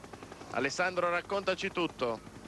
Beh sì, si è staccato nuovamente, non si è ritirato, eh, mi raccomando, si è staccato Giovanni Lombardi, si è staccato anche un altro corridore della CSC che invece poteva essere importante in salita come Peter Luttenberger e poi si è staccato Werner in difficoltà come avete già detto eh, Pinotti il corridore della Sonier Duval Protir e il gruppo che intraprende le prime rampe di questa salita hanno già percorso 3 km dei 13 previsti c'è anche Pozzovivo, no? Il Lucano. Come no? C'è anche Domenico Pozzovivo lì in mezzo al gruppo. Sì, sì. E pare comincia a essere a tutta o quasi, mentre Baldato dal momento che è ancora nel tratto pianeggiante sta andando via abbastanza tranquillo. Ricordiamo che Baldato fa parte del gruppetto dei velocisti e non fa più parte di questo gruppetto qui. Saludos a todos, José Ruiano, suoi tifosi qui a Zoldo Alto. Ecco, adesso comincia a farsi un po' più impegnativa la salita e di chilometri ne mancano ancora tanti. Stanno salendo da 7 minuti e 30 secondi circa. Schmitz e Stangel della Lampre hanno lavorato per oltre 50 km, adesso perdono contatto. Anche Cristian Moreni non ce la fa più. Ruslan Ivanov Petrov anche lui ha finito, ha esaurito il proprio lavoro e adesso si stacca. Vedete? Sta tenendo bene Bruseghin. Adesso si formeranno tanti gruppetti. Bruseghin che potrebbe fare il Cioni del 2004, Cioni che l'anno scorso arrivò quarto, Cioni che era compagno di squadra di Petacchi, l'abbiamo visto lavorare molto meno quest'anno Bruseghin. Attenzione perché c'è il forcing di Francisco Vila, corridore basco della Lampre. Sparpaglio terribile, Eh. terzo chilometro di salita. Tra, tra un paio di chilometri potrebbe esserci, tra un chilometro, un chilometro e mezzo potrebbe esserci il primo allungo ed è Tonti Si è spostato Vila, ruota di Tonti Emanuele Sella, il vicentino. Poi Schleck e Ivan Basso. In difficoltà Paolo Bettini. Può partire la sigla. Spettatori, Gilberto Simoni, il tentativo dello scalatore di Palù di Giovo, quarto chilometro di salita, ecco lo scatto di Gilberto Simoni, tanto atteso e adesso si sta realizzando. Eh sì, ce l'aspettavamo tutti, uno scatto di Gilberto Simoni e lo scatto c'è stato. Vediamo adesso la reazione degli altri. Cunego non sembra in grado di rispondere per adesso, eccolo lì con il dorsale 1, Damiano Cunego, mentre questa è la testa della corsa, ha ripreso Patrice Algan, c'è Ivan Basso prontamente affiancato a Gilberto Simoni. Sta correndo da padrone per adesso Ivan Basso, notate sulla destra Savoldelli, al centro basso e sulla sinistra Danilo Di Luca con Gilberto Simoni che evidentemente vuole capire la posizione di Damiano Cunego. Eh sì, infatti vedete che Cunego si è staccato, Simoni si è rialzato, ha continuato a guardare indietro. Eh sì, Cunego in difficoltà ed è per questo che Simoni per il momento si è rialzato e nessuno sta reagendo. Prima notizia che ha del clamoroso, quarto chilometro di salita, non è normale che Cunego sia lì. Evidentemente la frustata di Gilberto Simoni ha fatto male a Damiano Cunego che è a 100 metri dal gruppo degli altri uomini di classifica. Silvio Martinello. Sì, non è normale che Damiano Cunego sia lì dietro anche perché non dimentichiamo che tra Simoni e lui ci sono altri 20 corridori, quindi c'è eventualmente, evidentemente qualcosa che non va in Damiano Cunego che al primo appuntamento importante con la salita dimostra qualche difficoltà. Vedete che Simoni continua a guardarsi indietro, ha parlato anche con eh, il direttore sportivo, eccolo qua, Damiano Cunego che non è riuscito a reagire allo scatto, adesso al suo fianco Andrea Tonti. C'è Schleck, gregario di Ivan Basso, c'è Parra. Alessandro a te. Beh sì, io sono proprio accanto a Damiano Cunego e vi voglio dire che è una pedalata proprio pesante, è dura, è macchinosa, non mi sembra assolutamente di vedere il Damiano Cunego dello scorso anno, anzi è in difficoltà, in grande difficoltà, per fortuna ha un gregario come Andrea Tonte accanto ma è in grande difficoltà. E comunque nello scatto di Gilberto Simoni hanno perduto contatto anche corridori come Bertagnolli, Andrea Noè che può essere fondamentale per Cioni Garzelli, Luca Mazzanti che abbiamo già detto e visto prima in difficoltà. C'è Tiralongo che sembra stia procedendo con più agilità rispetto a Damiano Cunego, ma pensate adesso che problema sarà per il veronese coprire questi 8 km di salita, se ha perso contatto all'inizio sarà un'odissea per lui. Sarà un'odissea, sarà una via crucis eh, perché non si è staccato da due o tre corridori ma si è staccato da 20, 25 corridori e il Gran Premio della Montagna è ancora tanto lontano e quindi penso proprio che oggi per Cunego sarà una giornata lunga, non ce la fa, vedete, piantato. Alessandro cerca di risalire perché abbiamo visto eh, i tre Liquigas ancora tutti assieme ma eh, non abbiamo visto Cioni. Dunque Garzelli è lì. Di Luca è stato bravissimo a rispondere c'è Vegelius come abbiamo visto con la maglia verde della Liquigas. Questa è la testa della corsa con Danilo Di Luca che ha risposto prontamente vedete c'è anche Stefano Garzelli che mi sembra stia procedendo in maniera affannosa Eh sì, anche Garzelli non mi sembra che stia attraversando un buon momento. Eccolo lì Garzelli. Probabilmente... Era nel gruppo con Cunego. Sì, ma proprio non riusciva ad avere una pedalata sciolta, anzi mi sembrava molto molto in difficoltà anche Stefano Garzelli. Non ce la fa, probabilmente la caduta dell'altro giorno a Pistoia fa, si fa ancora sentire. Con Garzelli è rimasto Vegelius e con Cunego Andrea Tonti, mentre vediamo là davanti un brillante Michele Scarponi. Questo è il cronometro partito per verificare a 8 km dalla vetta il ritardo di Damiano Cunego è già di 17 secondi eh. Alessandro a te proprio così Charlie Veghelus ha provato in qualche modo ad aiutare Stefano Garzelli ma Stefano è proprio eh, non ce la fa è lì davanti Vegelius che prova a pilotarlo. In pratica si sono formati due treni di due corridori ciascuno uno della Lamperca Fida con Tonti e dietro Damiano Cunego e l'altro della Liquigas Bianchi con Vegelius e Garzelli dietro. Con loro ci sono anche altri corridori Paolo Tiralongo della Panaria Navigare poi c'è del team CSC Ceslec e quindi sta rientrando sta cercando di rientrare l'Ai Seca dell'Euskaltel Euskadi. E poi c'è con il dorsale 137 Unai Osa delle Isole Baleari. Alessandro ti chiederei per cortesia adesso di avanzare così ci dai l'esatta composizione del gruppo principale. Lì davanti ci sono sempre Gilberto Simoni, Scarponi, Savoldelli e Di Luca. Pubblicità per noi Torniamo in diretta, gentili telespettatori, adesso al comando si è portato Ivan Basso e sembra che il corridore varesino voglia ulteriormente scremare il gruppo. Un problema per Sella che è caduto ma è riuscito a ripartire immediatamente. A te Fabretti. Provato un pochino a fare la, la composizione del gruppo dei migliori, prova a darla. Allora con il numero 2 della Lamprega Fita Gilberto Simoni, del, con il numero 31 della Cofidis Atienza, con il 43 della Sala Italia Colombia Rucano, della Credit Agricole con il 52 un bel ritrovato a Pietro Caucchioli. Con il 59 Algan. Con il 61 della Davita Mollotto Ardila. E con il 67 Van Uffel con il 71 della Discovery Channel Savoldelli. Con l'81 della Domina Vacanze Sergei Gonchar. Con il 99 dello Scaltello Scadi Sanchez. Con il 135 delle Isole Baleari eh, Carpez. Con il 142 il 148 della Liberty Baranowski e Scarponi della Liquigas Bianchi ci sono Di Luca e Cioni del CSC Basso e della T-Mobile Kessler potrebbe essermi sfuggito qualcuno ma credo che questi siano. E si sta ulteriormente riducendo il eh, gruppo era di 17 componenti vedete sta rientrando Kessler.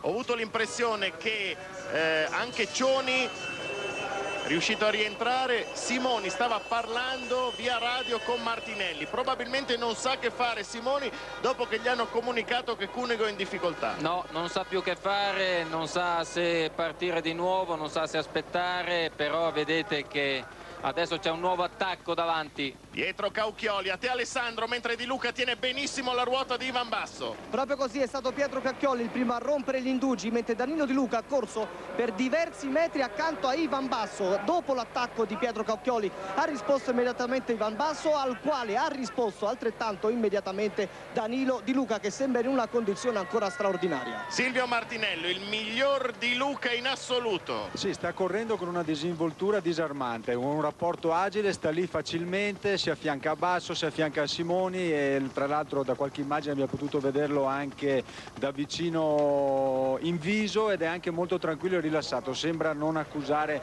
le, le dure pendenze del passo Duran, anche adesso a ruota di Ivan Basso lo vedete molto tranquillo con un rapporto molto agile e oggi sarà un cliente difficile per tutti. Ecco andiamo a scoprire tutti con Ivan Basso alla sua ruota Danilo Di Luca, poi c'è sempre Ruiano il venezuelano della Sella Italia. A te Alessandro. L'atto invece di Pietro Cocchioli ha fatto male sia a Manuele Sella che a Dario Daviccioni, in difficoltà anche Sergei Goncia.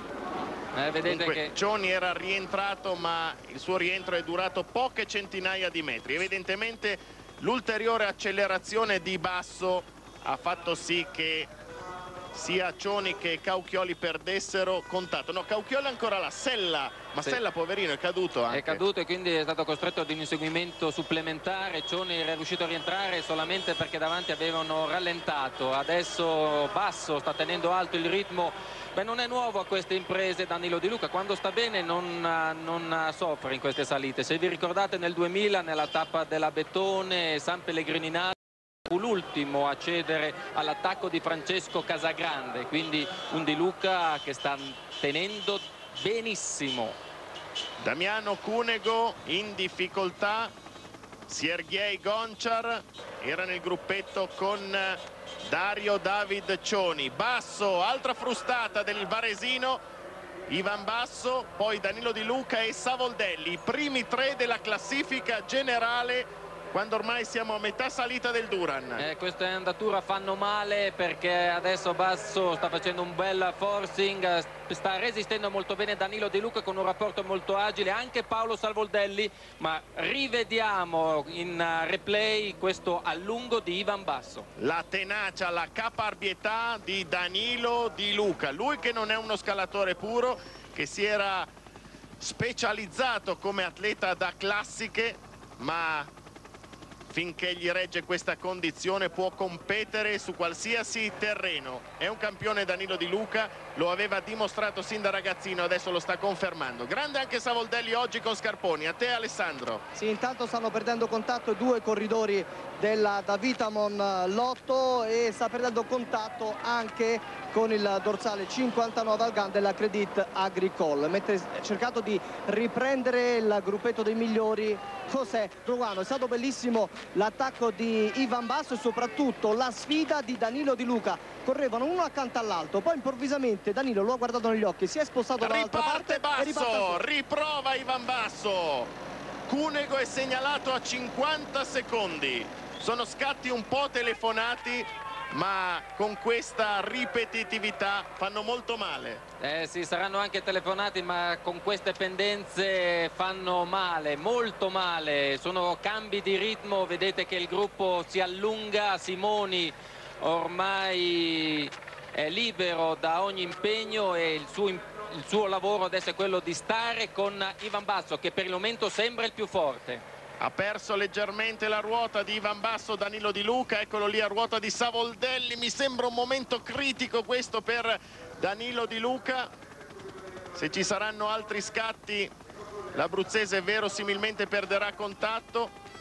Simoni invece sta tenendo benissimo la ruota Basso e con loro c'è il leggero Atienza atleta della Cofidis un drappello di cinque uomini Alessandro sì, e dopo questi due scatti si sono staccati sia Pietro Caucchioli che Michele Scarponi. In difficoltà anche José Rujano. I due Scarponi e Caucchioli stanno cercando di rientrare mandando del proprio passo mentre lì davanti si fa veramente sul serio. Beh, Ivan Basso sta correndo da padrone, eh? Beh. Eh, sinceramente non, non, ci aspettavamo una, una Ivan Basso all'attacco ma dal momento che si è accorto della difficoltà di Cunego e anche Savoldelli adesso sta patendo su queste pendenze però riesce per il momento a stare lì in scia. Perde due metri Savoldelli. Sembra aver passato il momento brutto Danilo Di Luca che si è riportato a ruota di Ivan Basso affiancando Gilberto Simoni anche a Tienza con Rujano atleta del Venezuela quanto manca la vetta Alessandro? Allora se i miei calcoli sono giusti abbiamo cominciato a 19, siamo a 28 quindi abbiamo percorso 9 km, potrebbero mancare 4 km. Esatto, 4 km al Gran Premio della montagna. Qui siamo su Michele Scarponi e Caucchioli. Ancora 2 km durissimi, poi gli ultimi due sono molto più agevoli. Aia anche Atienza adesso. Non ce la fa più. Savoldelli sta reagendo benissimo al forcing di Ivan Basso. Non è che non chieda cambi. Ivan vuol fare la differenza. E nessuno è in grado di stargli davanti 4 adesso Basso, Simoni, Di Luca, Savoldelli Sapevamo che questa salita poteva fare le differenze e le differenze ci sono state. Vedete che adesso Ruiano è riuscito a riportarsi sotto. Che grinta per José Ruiano. Ci sono suoi tifosi qui a Zoldo Alto. 15 secondi per Pietro Cauchioli. Forse ha chiesto un po' troppo alle proprie gambe.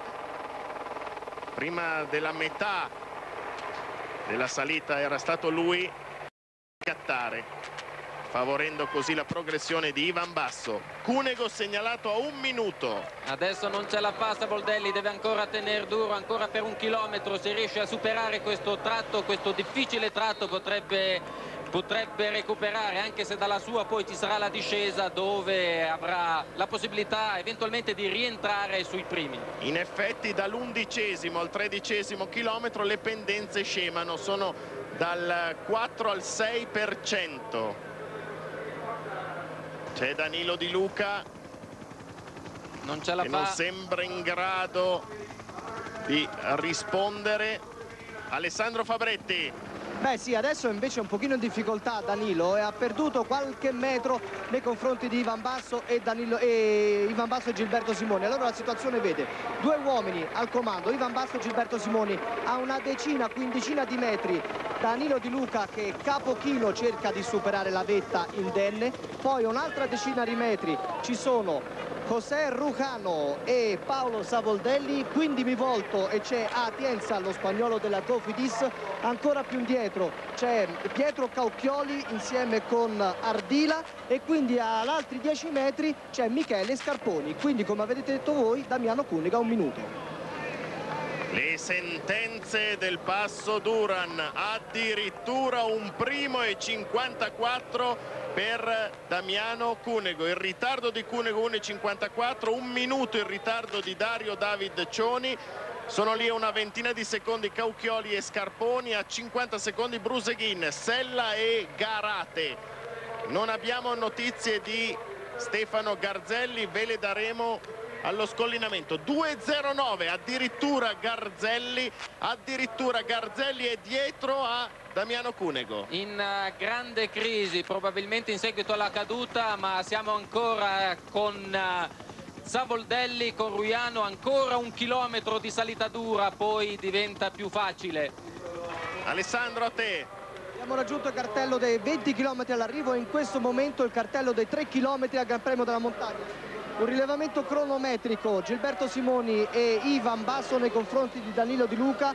Siamo a oltre 12 secondi. Precisamente siamo a 14 secondi in questo momento. Danilo Di Luca che sta per essere raggiunto da Paolo Savoldelli e da José Rucano considerato che gli ultimi due chilometri non sono durissimi basterebbe sia per Savoldelli che per Danilo Di Luca limitare i danni e se dovessero scollinare con anche 30-40 secondi potrebbero anche rientrare visto che Basso non è un fuoriclasse in discesa. Ne sono convinto perché Savoldelli come vedete non è in crisi tutt'altro sta salendo molto bene con il proprio passo sapeva che il, il ritmo di Basso e Simoni era troppo elevato per lui anche perché poi ci sono altri 9 km di salita e quindi Savoldelli potrà rientrare nella discesa pazzesco Cunego a quasi due minuti ed era la prima vera salita del Giro d'Italia. Sul San Mommè brillantissimo Damiano Cunego oggi crisi nera. E non capisco perché la Lampre abbia fatto questo forcing all'inizio della salita. In pratica grazie al forcing della Lampre Cunego è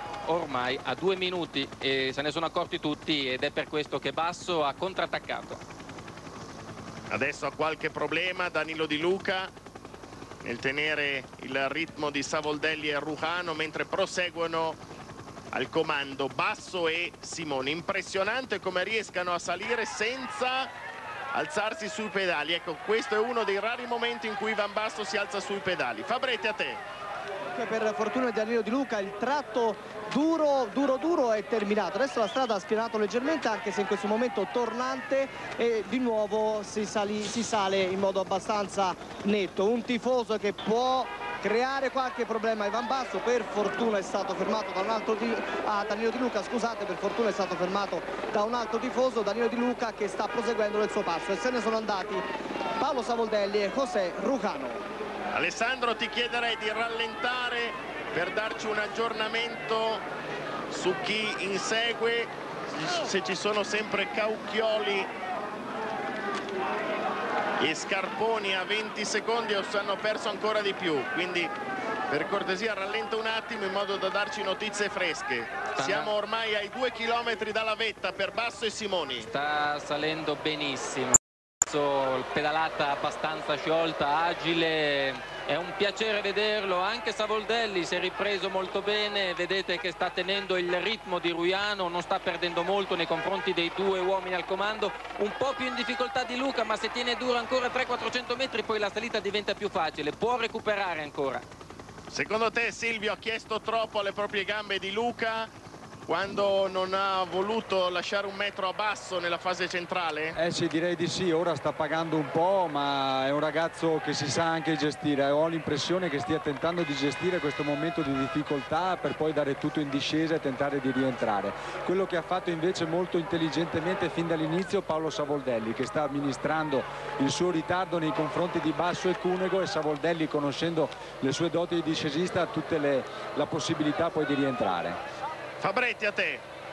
La spiana qui siamo intorno al 2-3% e ho visto Pietro Caucchioli insieme a Otienza a pochi secondi da Danilo Di Luca, intorno ai 10-12 secondi, quindi probabilmente nel tratto in discesa, sempre a patto che questa discesa la facciano bene, potrebbero rientrare. Il miglior Caucchioli dall'inizio del giro, era ora che si facesse vedere Pietro, atleta di Bovolone, provincia di Verone. Notate quanta gente, nonostante sia un giorno feriale, qui sul passo Duran si arriva a 1601 metri sul livello del mare. Di Luca dovrebbe riprendere Savoldelli e Ruiano e Savoldelli e Ruiano dovrebbero riprendere Basso e Simoni, anche perché Simoni potrebbe stare passivo a ruota di Basso. Eccolo qua che proprio per le pendenze molto più agevoli si è ripreso Danilo Di Luca e a un chilometro o poco più dal Premio della Montagna adesso potrebbe riportarsi su Savoldelli. È un ottimo treno quello là, con quel treno può e sicuramente sicuramente rientrerà sui primi. 20 secondi da recuperare non sono tantissimi nei confronti dei battistrada. Parlo di, di Luca Savoldelli e Ruiano mentre Garzelli è segnalato adesso a due primi e 25 secondi. Quindi grande crisi per Garzelli, grande crisi per Damiano Cunigo, eccolo qua la grinta di Danilo Di Luca grande grande di Luca perché signori non bisogna dimenticare che questo corridore già all'inizio di aprile era là ai Paesi Baschi a lottare con gli spagnoli e ha vinto una delle gare a tappe più dure che ci siano in calendario. Poi se n'è andato a Maastricht e in cima a Valkenburg, in cima al Kauberg ha vinto l'Amstel Gold Race. Poi ha vinto la Freccia Vallone alla Liege ha deluso al Giro d'Italia due tappe maglia rosa sta tenendo sul passo Duran che è uno dei più ardui dell'intera corsa rosa. E si vede ancora 900 metri adesso non dovrebbe cambiare più niente vedete che Basso ha messo il lungo rapporto Simoni sta a ruota passiva eccolo qua Savoldelli è già rientrato attenzione perché in questa discesa sicuramente Savoldelli tenterà di staccare Basso e compagnia.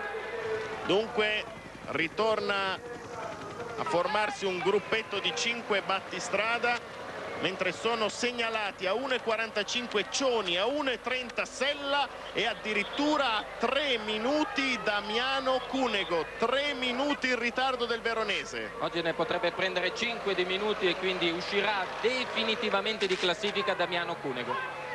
Ricordiamo che questa discesa è molto tecnica, lunga e tecnica entusiasmante la tattica di Savoldelli. Quando si è reso conto che non aveva più le gambe per tenere il passo di Basso e Simoni ha preferito rallentare. Con lui si è portato Ruiano. È salito con un rapporto più leggero e adesso proprio in cima al Duran si è riportato sui battistrada. Intelligentissimo Savoldelli ma grande prova anche di Danilo Di Luca. Silvio. Prova di carattere di Danilo Di Luca quello che sta onorando al meglio la maglia rosa che indossa ormai da qualche giorno come solo gli atleti di carattere possono fare Sai, Savoldelli, tornando a lui, è un uomo d'esperienza, è un uomo che ha vinto un Giro d'Italia, è arrivato una volta secondo, è un corridore che conosce i propri limiti, è partito sornione in questo Giro, ma sta dimostrando sempre di più che è uno che può lottare per la maglia rosa, quella di Milano. Quattro italiani e un venezuelano, due assenze gravi, parliamo di Cunego, il vincitore del Giro dell'anno scorso, di Stefano Garzelli, il vincitore del Giro dell'anno 2000. Dario Daviccioni sapevamo non essere un grande scalatore male che abbia perso contatto in difficoltà anche Sergei Gonchar. Ma adesso avremo una situazione completa qui in cima al Duran. 19 km alla conclusione. 10 sono in discesa gli ultimi 9 ancora in salita una salita però meno impegnativa, sì. è bene puntualizzare. Meno impegnativa, pendenze che vanno dal 6 al 7%, sono tre grandi gradoni che portano fino qui al traguardo. Caucchioli e Atienza sono rispettivamente il sesto e il settimo adesso. Erano segnalati a circa un minuto.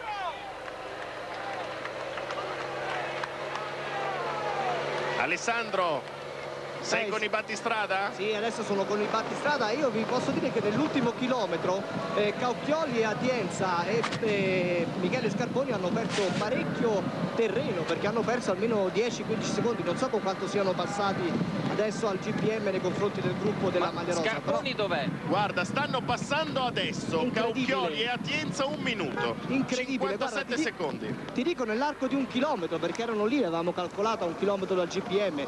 Adesso affrontiamo il tratto in discesa con il Civetta da una parte, con il Pelmo dall'altra.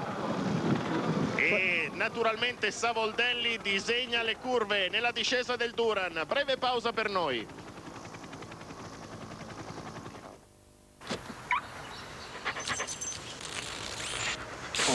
Nuova Mazda 3 Hot. Aspettatevi di tutto, anche di vederla all'88 Giro d'Italia.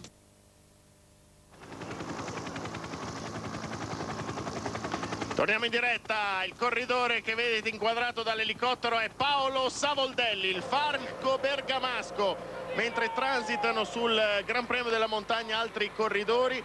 Tra questi c'è Dario David Cioni, 1,48, quindi ha limitato i danni nell'ultimo chilometro di salita, mentre più indietro, segnalati a 3 minuti, Cunego e Garzelli. Eccolo qui il drappello con Damiano Cunego e Coldoghil. Ancora 400 metri di salita per questo gruppetto, Gran Premio della Montagna, eccoli qui altri distacchi. C'è con... Carpez, Kessler, Montgomery. Poi un corridore della Selle Italia, non transita ancora il gruppo Damiano Cunego che è più indietro. Ancora un minuto circa per arrivare in vetta al passo Duran mentre Savoldelli davanti sta facendo il diavolo a 4 basso in difficoltà non ce la fa tenere la ruota di Simoni e Savoldelli anche di Luca adesso un po' in affanno l'acido sì, non devono rischiare cioè basso, eh, a basso non conviene rischiare in discesa cosa dici Davide? Eh, deve rischiare un po' perché deve comunque cercare di limitare i danni. 2.55 e ancora Cunego deve passare. Una cotta in attesa quella di Damiano Cunego con lui è rimasto Andrea Tonti. Vedete il rilevamento cronometrico era corretto oltre tre minuti. In questo gruppo comprendente una quindicina di unità non c'è almeno non l'abbiamo visto Stefano Garzelli che era ancora più indietro. Poi però chiediamo conferma radio informazioni. Mi sembrava ci fossero due maglie liquigas sì. quindi potrebbe Noè. essere qui Stefano Garzelli con Andrea Noè. Ce lo conferma Silvio. Dunque Garzelli è riuscito a tornare nel gruppo Cunego. Comunque il loro ritardo è pesantissimo. Tre minuti. Savoldelli poi Simoni in seconda posizione poi più indietro poco più indietro di Luca ed Ivan Basso. L'attacco di Savoldelli in discesa. Eccolo qui. È tornato il Falco. Guardate che spettacolo. Una sicurezza una tranquillità. Non sbaglia una curva. Pensate che nella cronometro da Lamporecchio a Firenze ed era una discesa non lunga come quella di oggi, ha guadagnato 30 secondi a Ivan Basso per poi perdere tutto nel finale. Però per dirvi delle qualità di Savoldelli in discesa. Adesso c'è un tratto pianeggiante ma tra un po' riprenderà la discesa molto tecnica ugualmente, anzi nel tratto finale ci sono pendenze molto molto importanti e la strada è abbastanza stretta. Alessandro a te. Che invece non tiene assolutamente il ritmo José Brucano che è bravo in salita ma evidentemente non è bravo in discesa. Comunque l'asfalto è stupendo, la discesa sembra una pista da Formula 1, guardate, incredibile.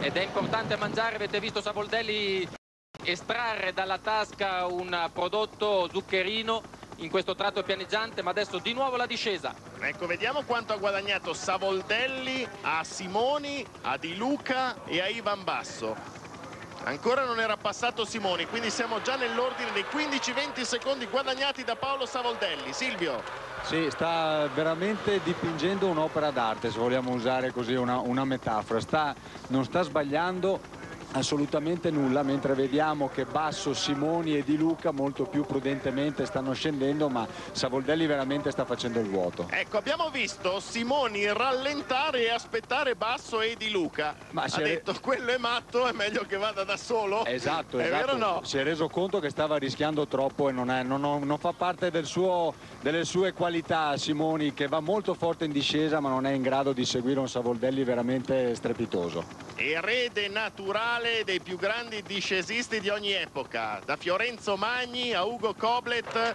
a Francesco Moser. Questi è Paolo Savoldelli. Che spettacolo. Entrata nella storia quella discesa scendendo il fauniera, tu Auro eri in moto dietro di lui. Ah, ha dato due minuti anche a noi ed eravamo su una moto 1100 di cilindrata. Beh, sì, vero... ma là oltretutto non c'erano i guardrail, c'erano i precipizi, quindi... È veramente un, un drago in discesa. Anche Basso è riuscito a difendersi abbastanza bene, vedete che adesso si è portato al comando con eh, Simoni e Danilo Di Luca che ha faticato molto nell'ultima salita, anche nel tratto finale un po' di pesantezza, ma speriamo che in questa discesa riesca a recuperare un po'. Silvio Savoldelli a questo punto vuol vincere la tappa però non è così semplice reggere sugli 8 km finali. No, no, non è così semplice assolutamente, anche se come abbiamo già avuto modo di dire la salita che porta a Palafavera non presenta le pendenze del passo Duran, però è chiaro che eh, dovrà, dovrà, naturalmente mettercela tutta, sta, sta, facendo veramente una grande discesa, ma i 9 km di salita finale assolutamente non lo agevolano, sarà, sarà più facile naturalmente per chi sta inseguendo che hanno, che hanno delle doti di scalatore da scalatore più, più importanti rispetto alle sue. Attenzione perché adesso c'è un tratto molto difficile. Ancora 700-800 metri di discesa poi svolta a sinistra e comincia l'ultima salita. Ormai verso l'abitato di Dont. Questo è il nome del piccolo paese 900 metri d'altitudine poi un dislivello di altri 600 metri per arrivare a Zoldo Alto, località Pala Favera. È la salita verso Forcella Staulanza. Qui l'ha sbagliata, vedete? Leggero saltino, ha, ha, chiuso un po' troppo la curva anticipatamente, ma è riuscito a riprendersi molto bene. Danilo Di Luca con Gilberto Simoni e Ivan Basso. Secondo, terzo e quarto. Ruiano più indietro siamo in fondo alla discesa. Ecco qui, finisce la discesa e comincia la salita che porta all'arrivo. Ecco, direi a questo punto di far scattare i cronometri, Davide. Il passaggio qui a Dont di Paolo Savoldelli Intanto ci colleghiamo con Andrea Fusco, processo alla tappa, te Andrea. Sì, guarda, sarò velocissimo perché capisco che il momento è particolarmente delicato. Ti dico soltanto dei pronostici che ho raccolto qui nella tenda del processo. Allora, eh, Sgarbozza e Gianni Romeo della stampa dicono Simoni, mentre Fondriest e Battaglin, che ben conosce questo percorso, eh, tifano per Savoldelli. Un po' eh, spiazzante il pronostico di Candido Cannavò che scommette su Di Luca. A te la linea. 20 secondi, 20 secondi guadagnati da Paolo Savoldelli nella discesa del Passo Duran. Adesso qui la salita comincia subito abbastanza arcigna per un paio di chilometri, staremo a vedere dietro chi si metterà in testa. Simoni dovrebbe continuare a stare a ruota, per lui importante vincere la tappa e poi può contare sul fatto che Cunego è in ritardo, anche se ormai incolmabile vediamo anche Di Luca dovrebbe cercare di recuperare un po' e di fatti è Ivan è basso, basso. È basso, è, è lui. basso, è lui, è lui fortissimo in salita. Che, che ritmo che ha Ivan. D'altronde quando ha terminato la cronometro di Firenze ha detto oggi sì, sono andato forte, ma io mi considero più scalatore che cronoman. E oggi lo sta dimostrando Bretti passo ha guardato negli occhi Gilberto Simoni girandosi e Gilberto Simoni ha guardato negli occhi Danilo Di Luca Fa girandosi. Male. Però aia, qui è aia, Danilo Di Luca, Luca si stacca. contatto. Si stacca Danilo Di Luca. È una fiondata violentissima quella che sta imprimendo Ivan Basso. È il miglior basso mai visto al giro. Un basso che noi avevamo avuto modo di apprezzare al Tour de France là c'era un signore che si chiamava Lance Armstrong che era impossibile da staccare. Ivan Basso oggi sta facendo letteralmente la differenza. Davanti c'è sempre Savoldelli.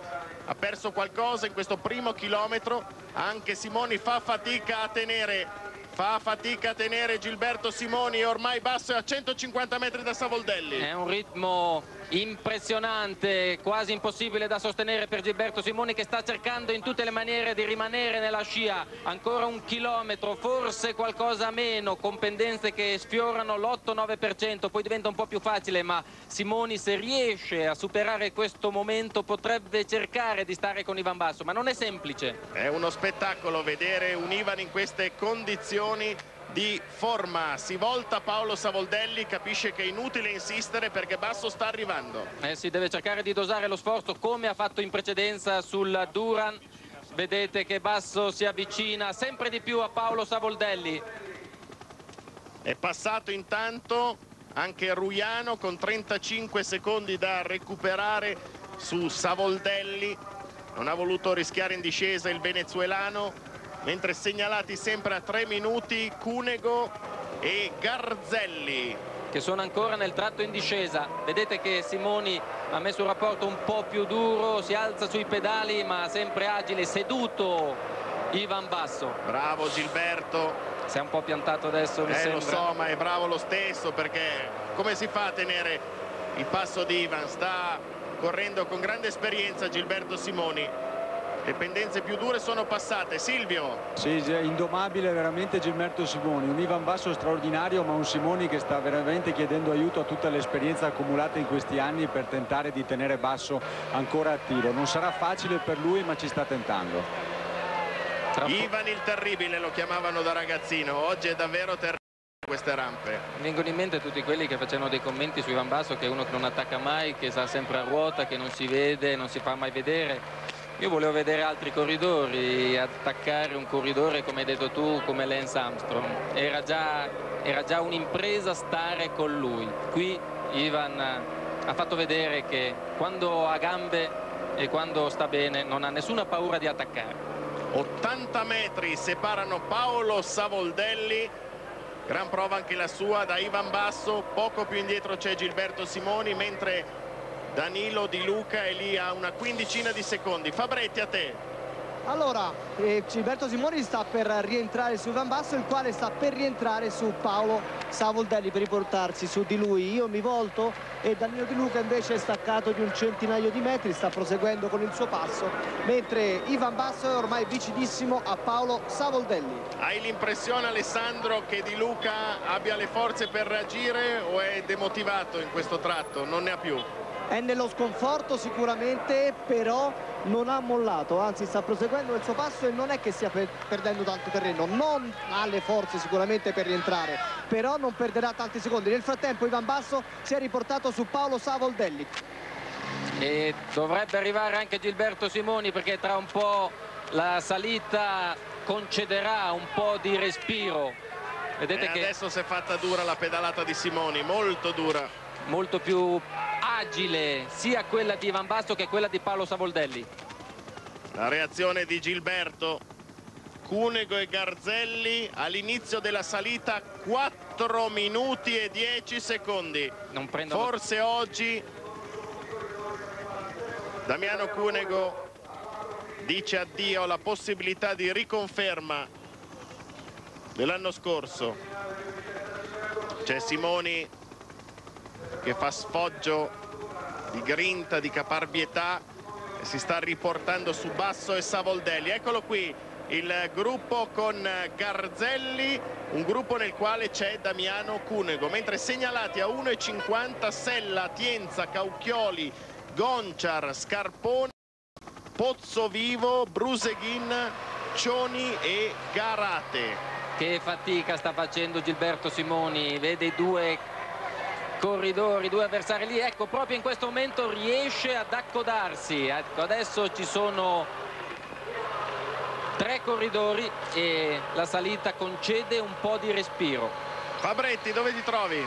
Trovo qui con i tre, Gilberto Simoni come ha detto Davide sta faticando in una maniera però cerca di riportarsi su Paolo Savoldelli ci riesce in questo momento proprio nel tratto in cui la strada spiana leggermente. Adesso sempre Ivan Basso davanti che studia cerca di capire la situazione di capire le condizioni dei due suoi avversari Paolo Savoldelli e Gilberto Simoni.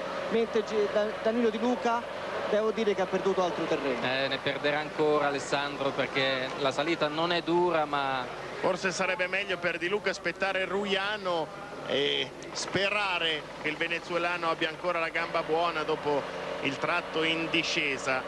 Ecco adesso vedete qui un po' di respiro, Paolo Savoldelli dà una mano ad Ivan Basso e Simoni invece cercherà di recuperare se ce la fa. E recupererà almeno sei posizioni in classifica generale Gilberto Simoni. È decimo graduatoria Simoni distanziato di 2 minuti e 10 da Danilo Di Luca. La maglia rosa è a 24 25 secondi. Beh insomma non male dai. Non è proprio crisi non è crisi perché totale. No però sta pagando il fuorigiri che ha fatto sul Duran. Lì ha fatto due chilometri veramente in apnea e li sta pagando in questo momento. Li pagherà soprattutto tra un po' negli ultimi tre chilometri ecco lì quando ci saranno i tornanti lì Di Luca faticherà molto e perderà anche abbastanza. Danilo Di Luca comunque da apprezzare la sua corsa. Qui siamo su Damiano Cunego segnalato a 4 minuti abbondanti con lui Charlie Veghellius altri gregari della Lampre Caffitta. È la vera grande sorpresa la crisi di Cunego oggi Garzelli ha qualche scusante in più. La caduta di Toia già si era difeso con i denti nella cronometro a Firenze. Era ovvio che Stefano Garzelli non potesse rendere al meglio dopo quanto gli era successo Ruiano addirittura 55 secondi. Dunque Di Luca non può nemmeno aspettarlo non può chiedere aiuti a nessuno se non alle proprie gambe. Silvio. Ed è quello che sta facendo con grande carattere onorando come ho già avuto modo di dire la sua maglia rosa veramente con grande impegno. Sta tentando di gestirsi sta tentando di non andare in crisi. Questa non è crisi questa è proprio la prima la volontà di riuscire a resistere al forcing di Ivan Basso e poi si è accorto che non avrebbe potuto resistere e questo avrebbe potuto causargli dei seri problemi a questo punto sta tentando di gestirsi, direi ammirevole la prova di Di Luca oggi soprattutto per il carattere dimostrato.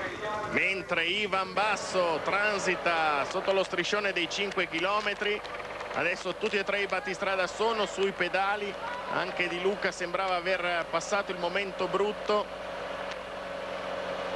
Adesso riprende la salita, c'è un altro strappo Sembra che abbia recuperato qualcosa Danilo Di Luca. Eh sì, dove c'era un po' da respirare è riuscito eh, niente, a... sempre lì, 25 secondi. Ecco, adesso diventa dura per lui perché c'è questo altro strappo, strappo, un altro tratto di salita e ci sarà un'altra frustata forse di Ivan Basso.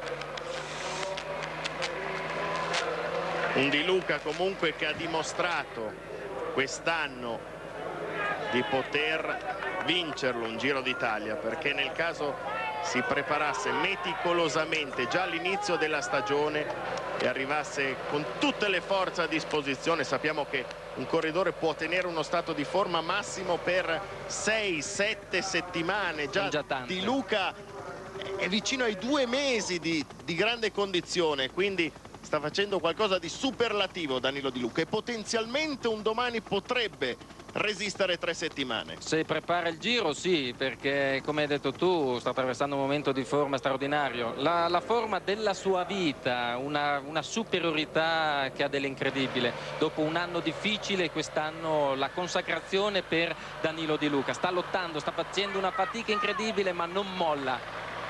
Un aggiornamento sugli inseguitori. A un minuto c'è Ruiano, a 1,50 Atienza, Caucchioli, Ardila, Van Huffel, Goncia, Rescagna. 2 minuti e 0,5 Sella, più indietro Cioni e sempre a 4 minuti abbondanti il nutrito gruppo con Cunego e Garzelli. Eccolo qua, il gruppo di Cunego con Tonti, con Garzelli eh, niente da fare oggi.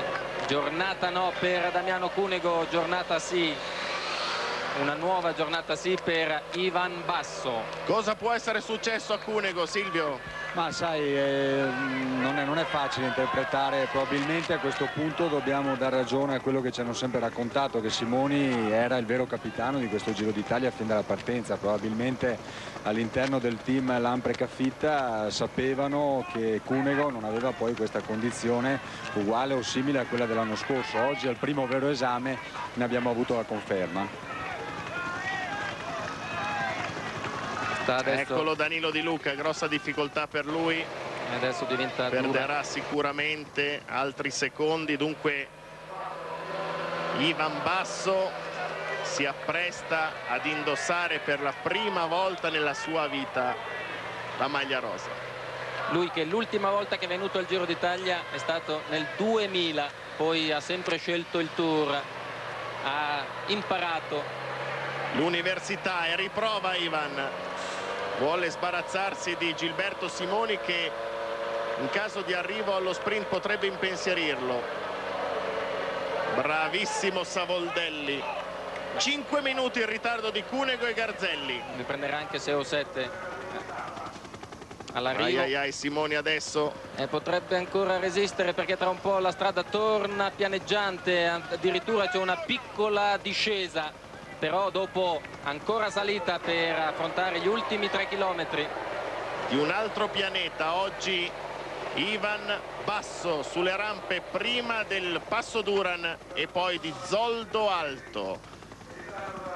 Savoldelli che a questo punto diventa il principale avversario di Ivan Basso in questo Giro d'Italia. Non dimentichiamoci di Simoni ma non bisogna dimenticare che Simoni in classifica generale deve recuperare già due minuti a Ivan Basso quindi perderà qualcosina anche oggi. Alessandro a te, Simoni si è staccato sembra eh, definitivamente. Eh sì, mi sembra proprio che abbia mollato definitivamente hanno guadagnato 60-70 metri Ivan Basso e Paolo Savoldelli. Adesso prova a rialzarsi sui pedali si risiede nuovamente in sella si volta Paolo Savoldelli percepisce che Gilberto Simoni è in difficoltà rilancia l'azione che spettacolo. A pensare tutto quello che hanno passato sia Basso che Savoldelli guarda viene da commuoversi a vederli in queste condizioni una grinta, una classe una determinazione.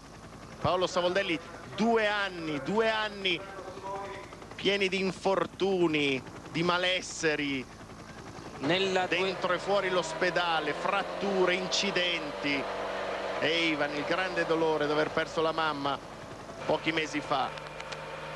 Un lutto che l'ha caricato, l'ha stimolato, si è preparato in maniera perfetta per questo Giro d'Italia e oggi all'esame, non è ancora un esame di laurea, non è una tesi questa, è un esame importante per il prosieguo e siamo solamente all'undicesima tappa. Eh sì, hai parlato di Savoldelli, pensate che nel 2003 in seguito ad un incidente e ad un virus ha corso solamente 15 corse, praticamente non ha mai corso, anche nel 2004 un bruttissimo incidente, è stato lontano dalle corse per tanto e quest'anno eccolo qua a lottare ancora per la maglia rosa. Siamo a 3 km dal traguardo, qualcosa meno. Simoni è lì a 10 secondi. Questo è un tratto che potrebbe anche favorire lo scalatore di Palù di Giovo, ma ormai c'è perfetto accordo tra Paolo Savoldelli e Ivan Basso. Fabretti, dove ti trovi?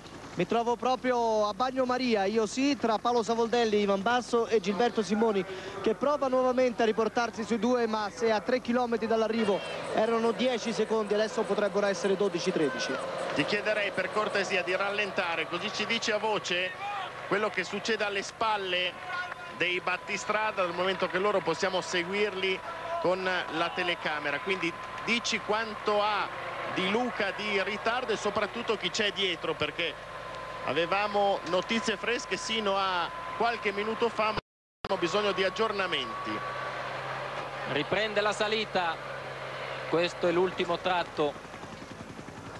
Eccolo qua Gilberto Simoni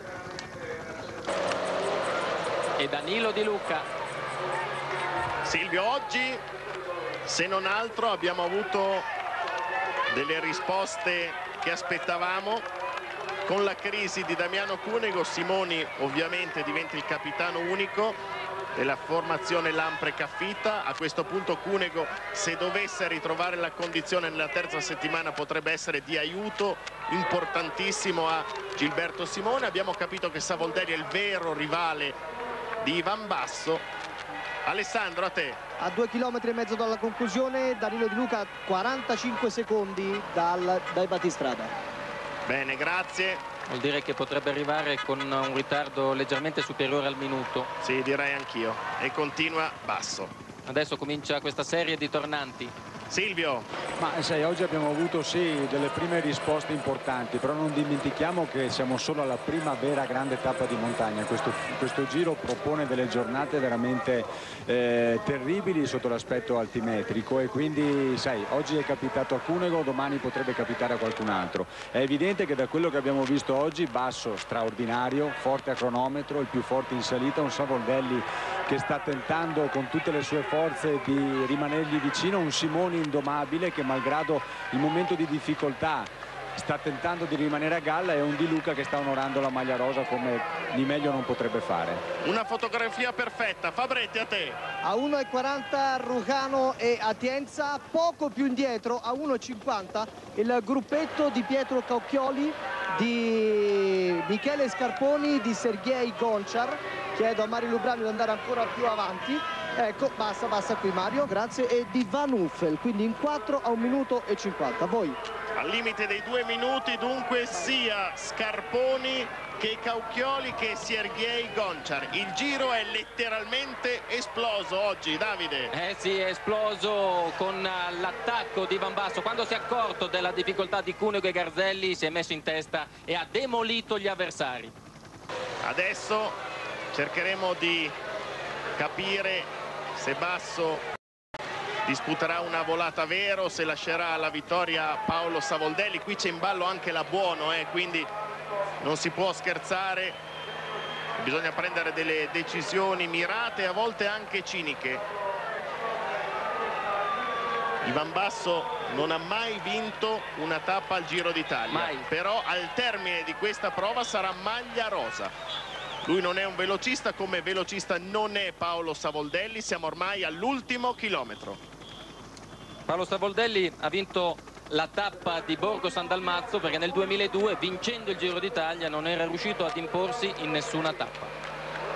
E se questo è l'antipasto quando arriveranno i primi e le portate principali Chissà cosa succederà Davide. Sarà un giro pieno di sorprese perché oggi, lo ricordiamo, l'hai già detto tu, è solamente la prima di una lunga serie. Sabato il tappone dolomitico, domenica lo Stelvio e poi il prossimo weekend in terra di Piemonte con il Colle di Tenda e il temibilissimo Colle delle Finestre. Simoni ha ceduto ai 3 km dal traguardo ma come giustamente l'ha definito Silvio Martinello oggi il Trentino è apparso indomabile. Finché ne ha avute di forza e di energia è rimasto lì. Si è ceduto perché proprio di più non poteva dare. Tanto di cappello nei confronti di Gilberto Simoni Savoldelli ha imparato una cosa in questa squadra, l'agilità. Come vedete Armstrong ha inculcato anche in lui questo modo di salire con un rapporto molto agile. Di Luca all'ultimo chilometro dovrà cercare di difendere, ma questo sarà sicuramente così. La terza posizione perderà la maglia rosa. Danilo Di Luca sarà scavalcato anche da Paolo Savoldelli e quindi si inserirà in terza posizione crediamo a meno che non abbia perso tanto nei confronti di Simoni in questi chilometri finali. Qui Simoni potrebbe perdere poco perché si stanno un po' studiando. Vedete che Savoldelli sta controllando il rapporto. Sembra di rivedere la scena alla Mongi con Lance Armstrong e Ivan Basso. Adesso al posto di Armstrong c'è il Falco Bergamasco, Savoldelli. Già pronti per la volata, hanno già messo la catena sul 53 perché gli ultimi 250 metri sono pianeggianti. Non si alza sui pedali Ivan, per adesso non sembra intenzionato a disputare lo sprint alle spalle di Ivan Basso c'è Savoldelli vedete si alza sui pedali è sprint vero è sprint vero 200 metri ancora tutto in testa Ivan Basso lo affianca Paolo Savoldelli sono ormai vicinissimi al traguardo Paolo Savoldelli! Ma in maglia rosa c'è Ivan Basso.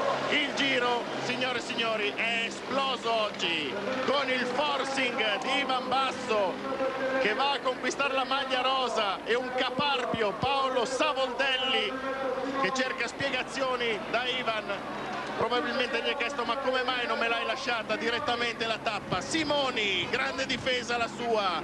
21 secondi per eh, Gibo Simoni capitano unico da oggi della Lampreca Fitta anche Danilo Di Luca va apprezzato per quello che è riuscito a fare.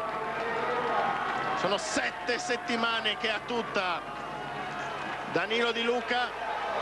Alessandra Te oggi è stata una tappa eccezionale. Sì, ho ottenuto il massimo risultato. Alla fine non ho collaborato con Basso perché per me la vittoria era troppo importante dopo due anni, così non potevo rischiare di tirare e poi magari essere staccato. Un accordo? No, non c'è stato un accordo, ho fatto il furbo. È andata bene, grazie Saudelli. Quindi avevamo interpretato bene la richiesta di delucidazioni tra Savoldelli e Di Luca. Probabilmente Savoldelli si aspettava che Ivan Basso gli lasciasse direttamente la tappa, invece è stata volata vera. Alessandra, a te. Danilo Di Luca, oggi hai dimostrato di essere testardo, caparbio, ce l'hai messa veramente tutta. Forse un po' troppo forte sul Duran. Ma sul Duran stavo, stavo molto bene, poi andando avanti c'è stata una un'andatura molto forte di, di basso che è andato veramente forte. Comunque sono molto soddisfatto perché eh, no, nonostante oggi ho pagato un po', ho pagato un po', un po' limitato abbastanza i dati. Hai fatto un giro d'Italia eccezionale fin qui Danilo. Sì, adesso forse si inizia a vedere un po' la stanchezza, altrimenti oggi sarei potuto comunque arrivare con i primi e giocarmi la vittoria, però sono molto soddisfatto. Grazie, grazie molte. È arrivato Cauchioli, con lui Sergei Gonchar, due minuti in ritardo, poco prima a Tienza. Transita Michele Scarponi, due primi e 18 in ritardo del capitano della Liberty Seguros. Poi Ardila, il colombiano. Qui dovremmo essere con Emanuele Sella, ormai ai 100 metri finali. Scalatore vicentino vediamo. Ecco il passaggio di Sella e Algan. e Patrice Algan. Arriva anche Bruseghin e Pozzovivo bravo Pozzovivo anche Bruseghin è riuscito a contenere entro i tre minuti il ritardo. Arriva Garate mi sembra. Capitano della Sonier Duval il basco Garate dovrebbe essere superiore ai 5 minuti il ritardo di Cunego e Garzelli che sentenza oggi pesantissima la generale Auro presidente della corte oggi Ivan Basso Madonna ne ha condannati un bel po' Sì, l'unico che è riuscito a salvarsi e come è stato proprio Paolo Savoldelli. Guardate qui. Alessandra, te. Eh, siamo accanto a Bjarne Riss. Bjarne, come commentare questa giornata? Ma è bello, è andato tutto come, come voleviamo noi. E... No, io sono molto contento. Ha dimostrato una padronanza Ivan incredibile, ha fatto tutta la salita seduto. Ma, eh, lui corre così, eh, lui ha una bella forza delle gambe, le schiene per essere seduto sempre, lui non è uno che, che va sempre in piedi. Ti aspettavate una debacle di Cunego? Sì. Sì? Sì. Perché? Ma io penso che un giro questo è, è molto, è livello molto alto, è ancora presto per lui, è ancora un po' giovane, poi questa salita che è veramente dura, fa male a lui. E... Ha perso tanto, sì, però è anche un po' di morale, questo è, è normale. Però posso dire lui che lui deve continuare comunque come perché è un grande corridore. Grazie Bjarne Riss a voi. Beh, non me l'aspettavo che Bjarne Riss dicesse sì, sì, la crisi di Cunego era nell'aria.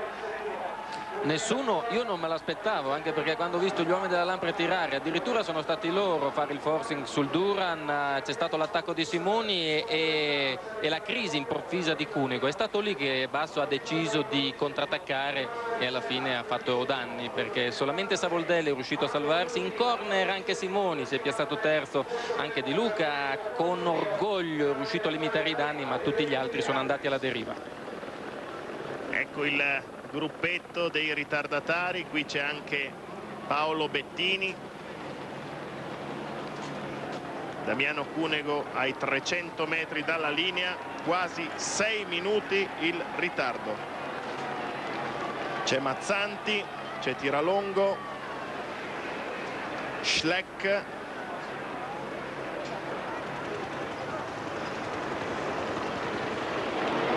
Sei minuti signori, sei minuti il ritardo del vincitore del giro dell'anno scorso. Il talento del nostro ciclismo oggi ha pagato un dazio pesantissimo.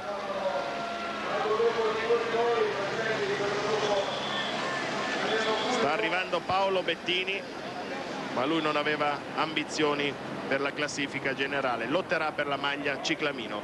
Dunque, vittoria di tappa Savoldelli e in maglia rosa Ivan Basso. Può partire la sigla, processo alla tappa, grazie per l'attenzione. Il vincitore del Giro dello scorso anno, strepitoso Ivan Basso, i suoi continui attacchi mettono alla frusta tutto quanto la carovana rosa, resiste almeno in fase iniziale eh, di Luca, poi si stacca, così come poi Simoni sarà costretto ad arrendersi nella parte finale del Duran. Al termine uno sprint in volata è tornato il falco in discesa e basso. E alla meglio per pochissimo Savoldelli che vince la tappa. Ma la classifica è sconvolta. La maglia rosa è Ivan Basso secondo Savoldelli terzo eh, Di Luca Simoni è in quarta posizione. Mentre vedete Savoldelli sul podio ancora una volta alle prese con il tappo della bottiglia. Ma ormai questo non fa più notizia. Buonasera benvenuti al processo alla tappa. Allora eh, la classifica come dicevamo è completamente sconvolta,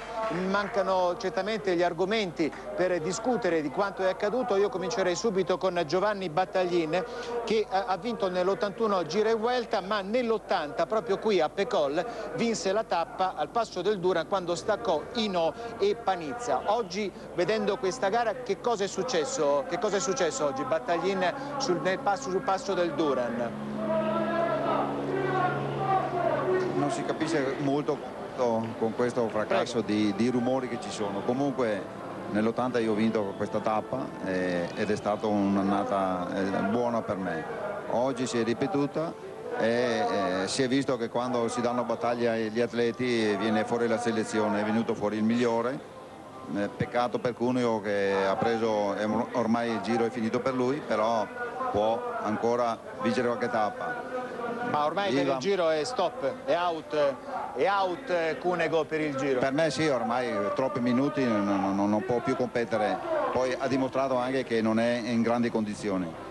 Eh, Basso l'ho sempre pronosticato vincitore a Milano, eh, quindi penso che non, non, eh, non, sia niente da ridire. Un grande Basso, una grande bella tappa perché eh, ha dimostrato il suo valore oggi. Ecco, vediamo anche che Renato Pozzetto non soltanto la passione per i motori ma anche per il ciclismo.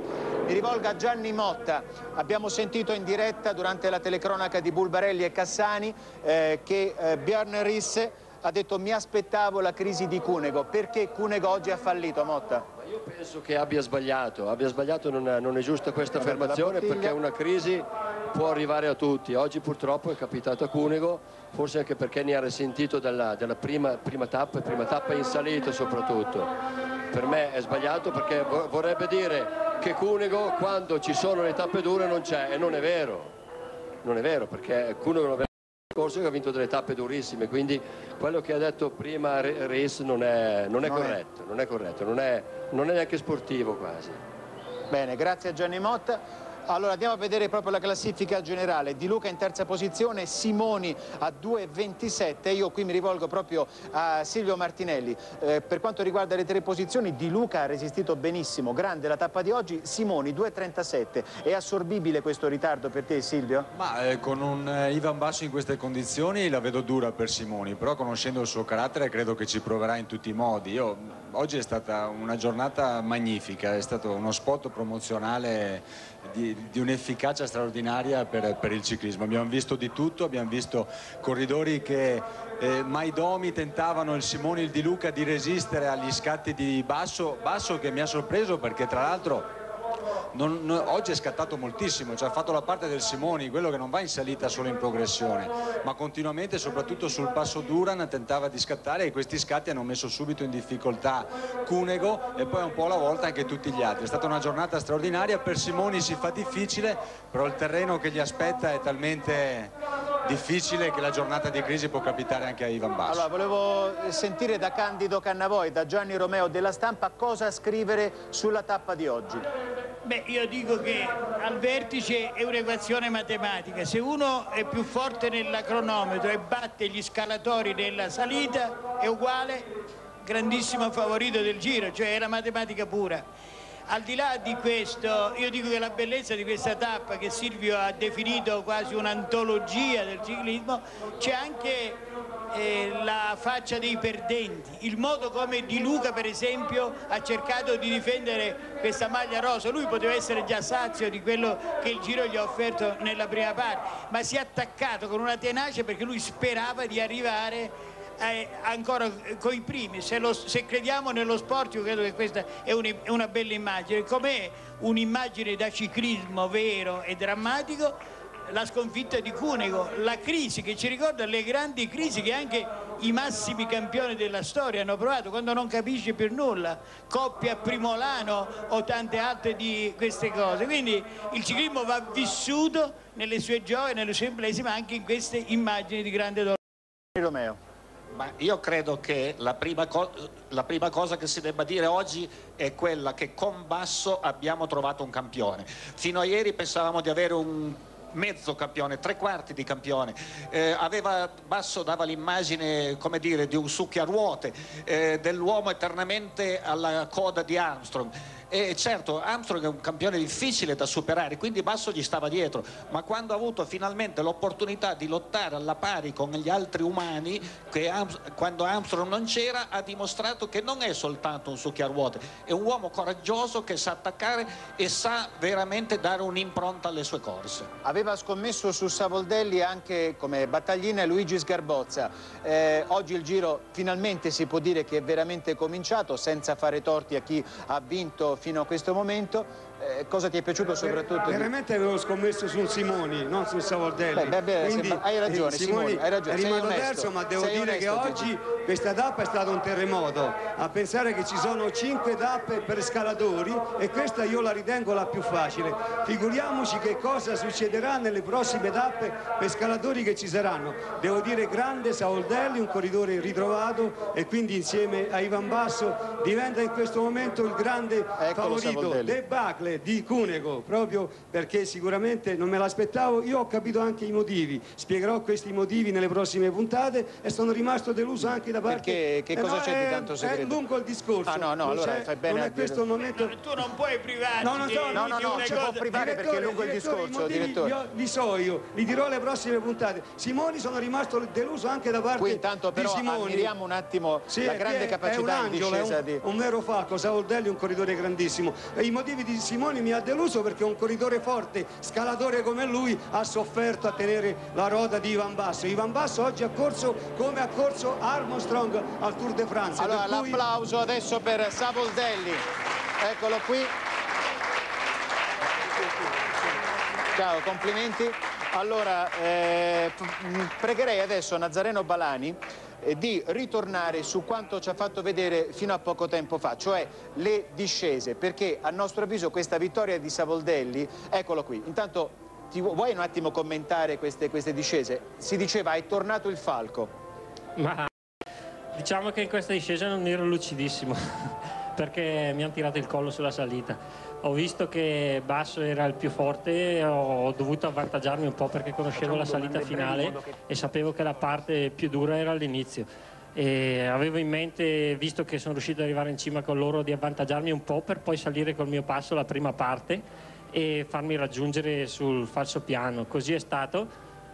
Poi c'è stato uno scatto di basso e il cedimento di Simoni. Ho dato qualche cambio a basso per fare un po' di vuoto e poi chiedo scusa a basso ma sono stato sulla sua ruota perché per me era troppo importante vincere la tappa. Lui prendeva la maglia e è andata bene così. Allora, beh, anche perché hai preso 20 secondi da buono. Velocemente Cannavò e Romeo, mentre sta arrivando la maglia rosa, Ivan Basso. eh, allora aspettiamo, aspettiamo per un attimo anche la maglia rosa Ivan Basso, che però viene trattenuto all'esterno delle tendone. C'è anche Roberto Conti. Ed eccoli qua. Ciao Ivan, benvenuto. Eccoli qua i due grandi protagonisti della tappa di oggi. Eh, vicini come sul traguardo, microfono subito a Ivan Basso. Te l'aspettavi un Savoldelli così in forma oggi? Ma sicuramente Savoldelli era uno degli avversari più forti all'inizio di questo giro, tutti sapevamo che era uno dei candidati. Eh, io non ho mai sottovalutato nessuno e continuo a non sottovalutare nessuno fino il giro si vince a Milano, non oggi. Crisi Cunego, eh, domanda per Savoldelli e Basso e poi la parola a Cannavò e Romeo. Ecco, questo è il vostro arrivo. Commenta intanto eh, questo, questo arrivo, Paolo. Io? Ma praticamente diciamo che Ivans ha fatto il lavoro negli ultimi due chilometri. Eh, io sono stato sulla sua ruota, come già spiegato prima, perché volevo vincere la tappa. Venendo da due anni che, dove ho corso poco così, due anni che non faccio più il Giro d'Italia, non so quale sarà la mia tenuta nell'ultima settimana, perciò devo cercare di raccogliere il massimo che posso adesso. Non ci crede Ivan Basso, eh? questa è una dichiarazione così di difesa, tanto per, per dire. Allora, mh, un secondo per un grande avversario che praticamente ha dato l'addio oggi alla maglia rosa finale, Cunego. Mh, come si spiega, Ivan? Ah, sinceramente non, non so niente, non mi va di, di commentare un giorno difficile per un mio collega. Credo che possa capitare a tutti e chiaro cambia un po' la sua corsa, però credo che possa capitare a tutti. Allora, Cannavò e Romeo per allora, Savoldelli. Basso. Beh, O a lui, cominciamo con Basso, cominciamo con Basso. cominciamo con Basso. E, vista la tua superiorità nella cronometro, oggi tutti si aspettavano che tu ti attaccassi dietro, controllassi gli scalatori che avrebbero dovuto darti fastidio. Invece sei stato tu a scattare. Perché scattavi? Perché speravi di staccarli o per intimorirli un po', come fanno certi grandi campioni? No, io questa tappa è da, da molti mesi che, che l'ho in mente sono stato due giorni qua sulle Dolomiti ancora un mese e mezzo fa e ho ripetuto due volte questo, questo finale della tappa e oggi volevo, volevo fare una grande prova e io sul Duran ho fatto la mia corsa non guardando più i miei avversari, da lì fino all'arrivo. Ancora a te Basso, eh, oggi, dopo la tappa di oggi, qual è il primo nome che tu fai dei tuoi avversari più pericolosi? Hai una graduatoria dei tuoi avversari più pericolosi, fai un primo nome. Ma io credo che i due corridori che erano con me in salita sono i due corridori che, che daranno più fastidio, però non mi va di, di sottovalutare nessuno perché questo Giro d'Italia c'è ancora veramente molta montagna e come ripeto una giornata difficile può capitare a tutti. Eh, scusate, è arrivato in questo momento un comunicato, vorrei anche che Savoldelli e Basso lo commentassero in maniera molto pacata.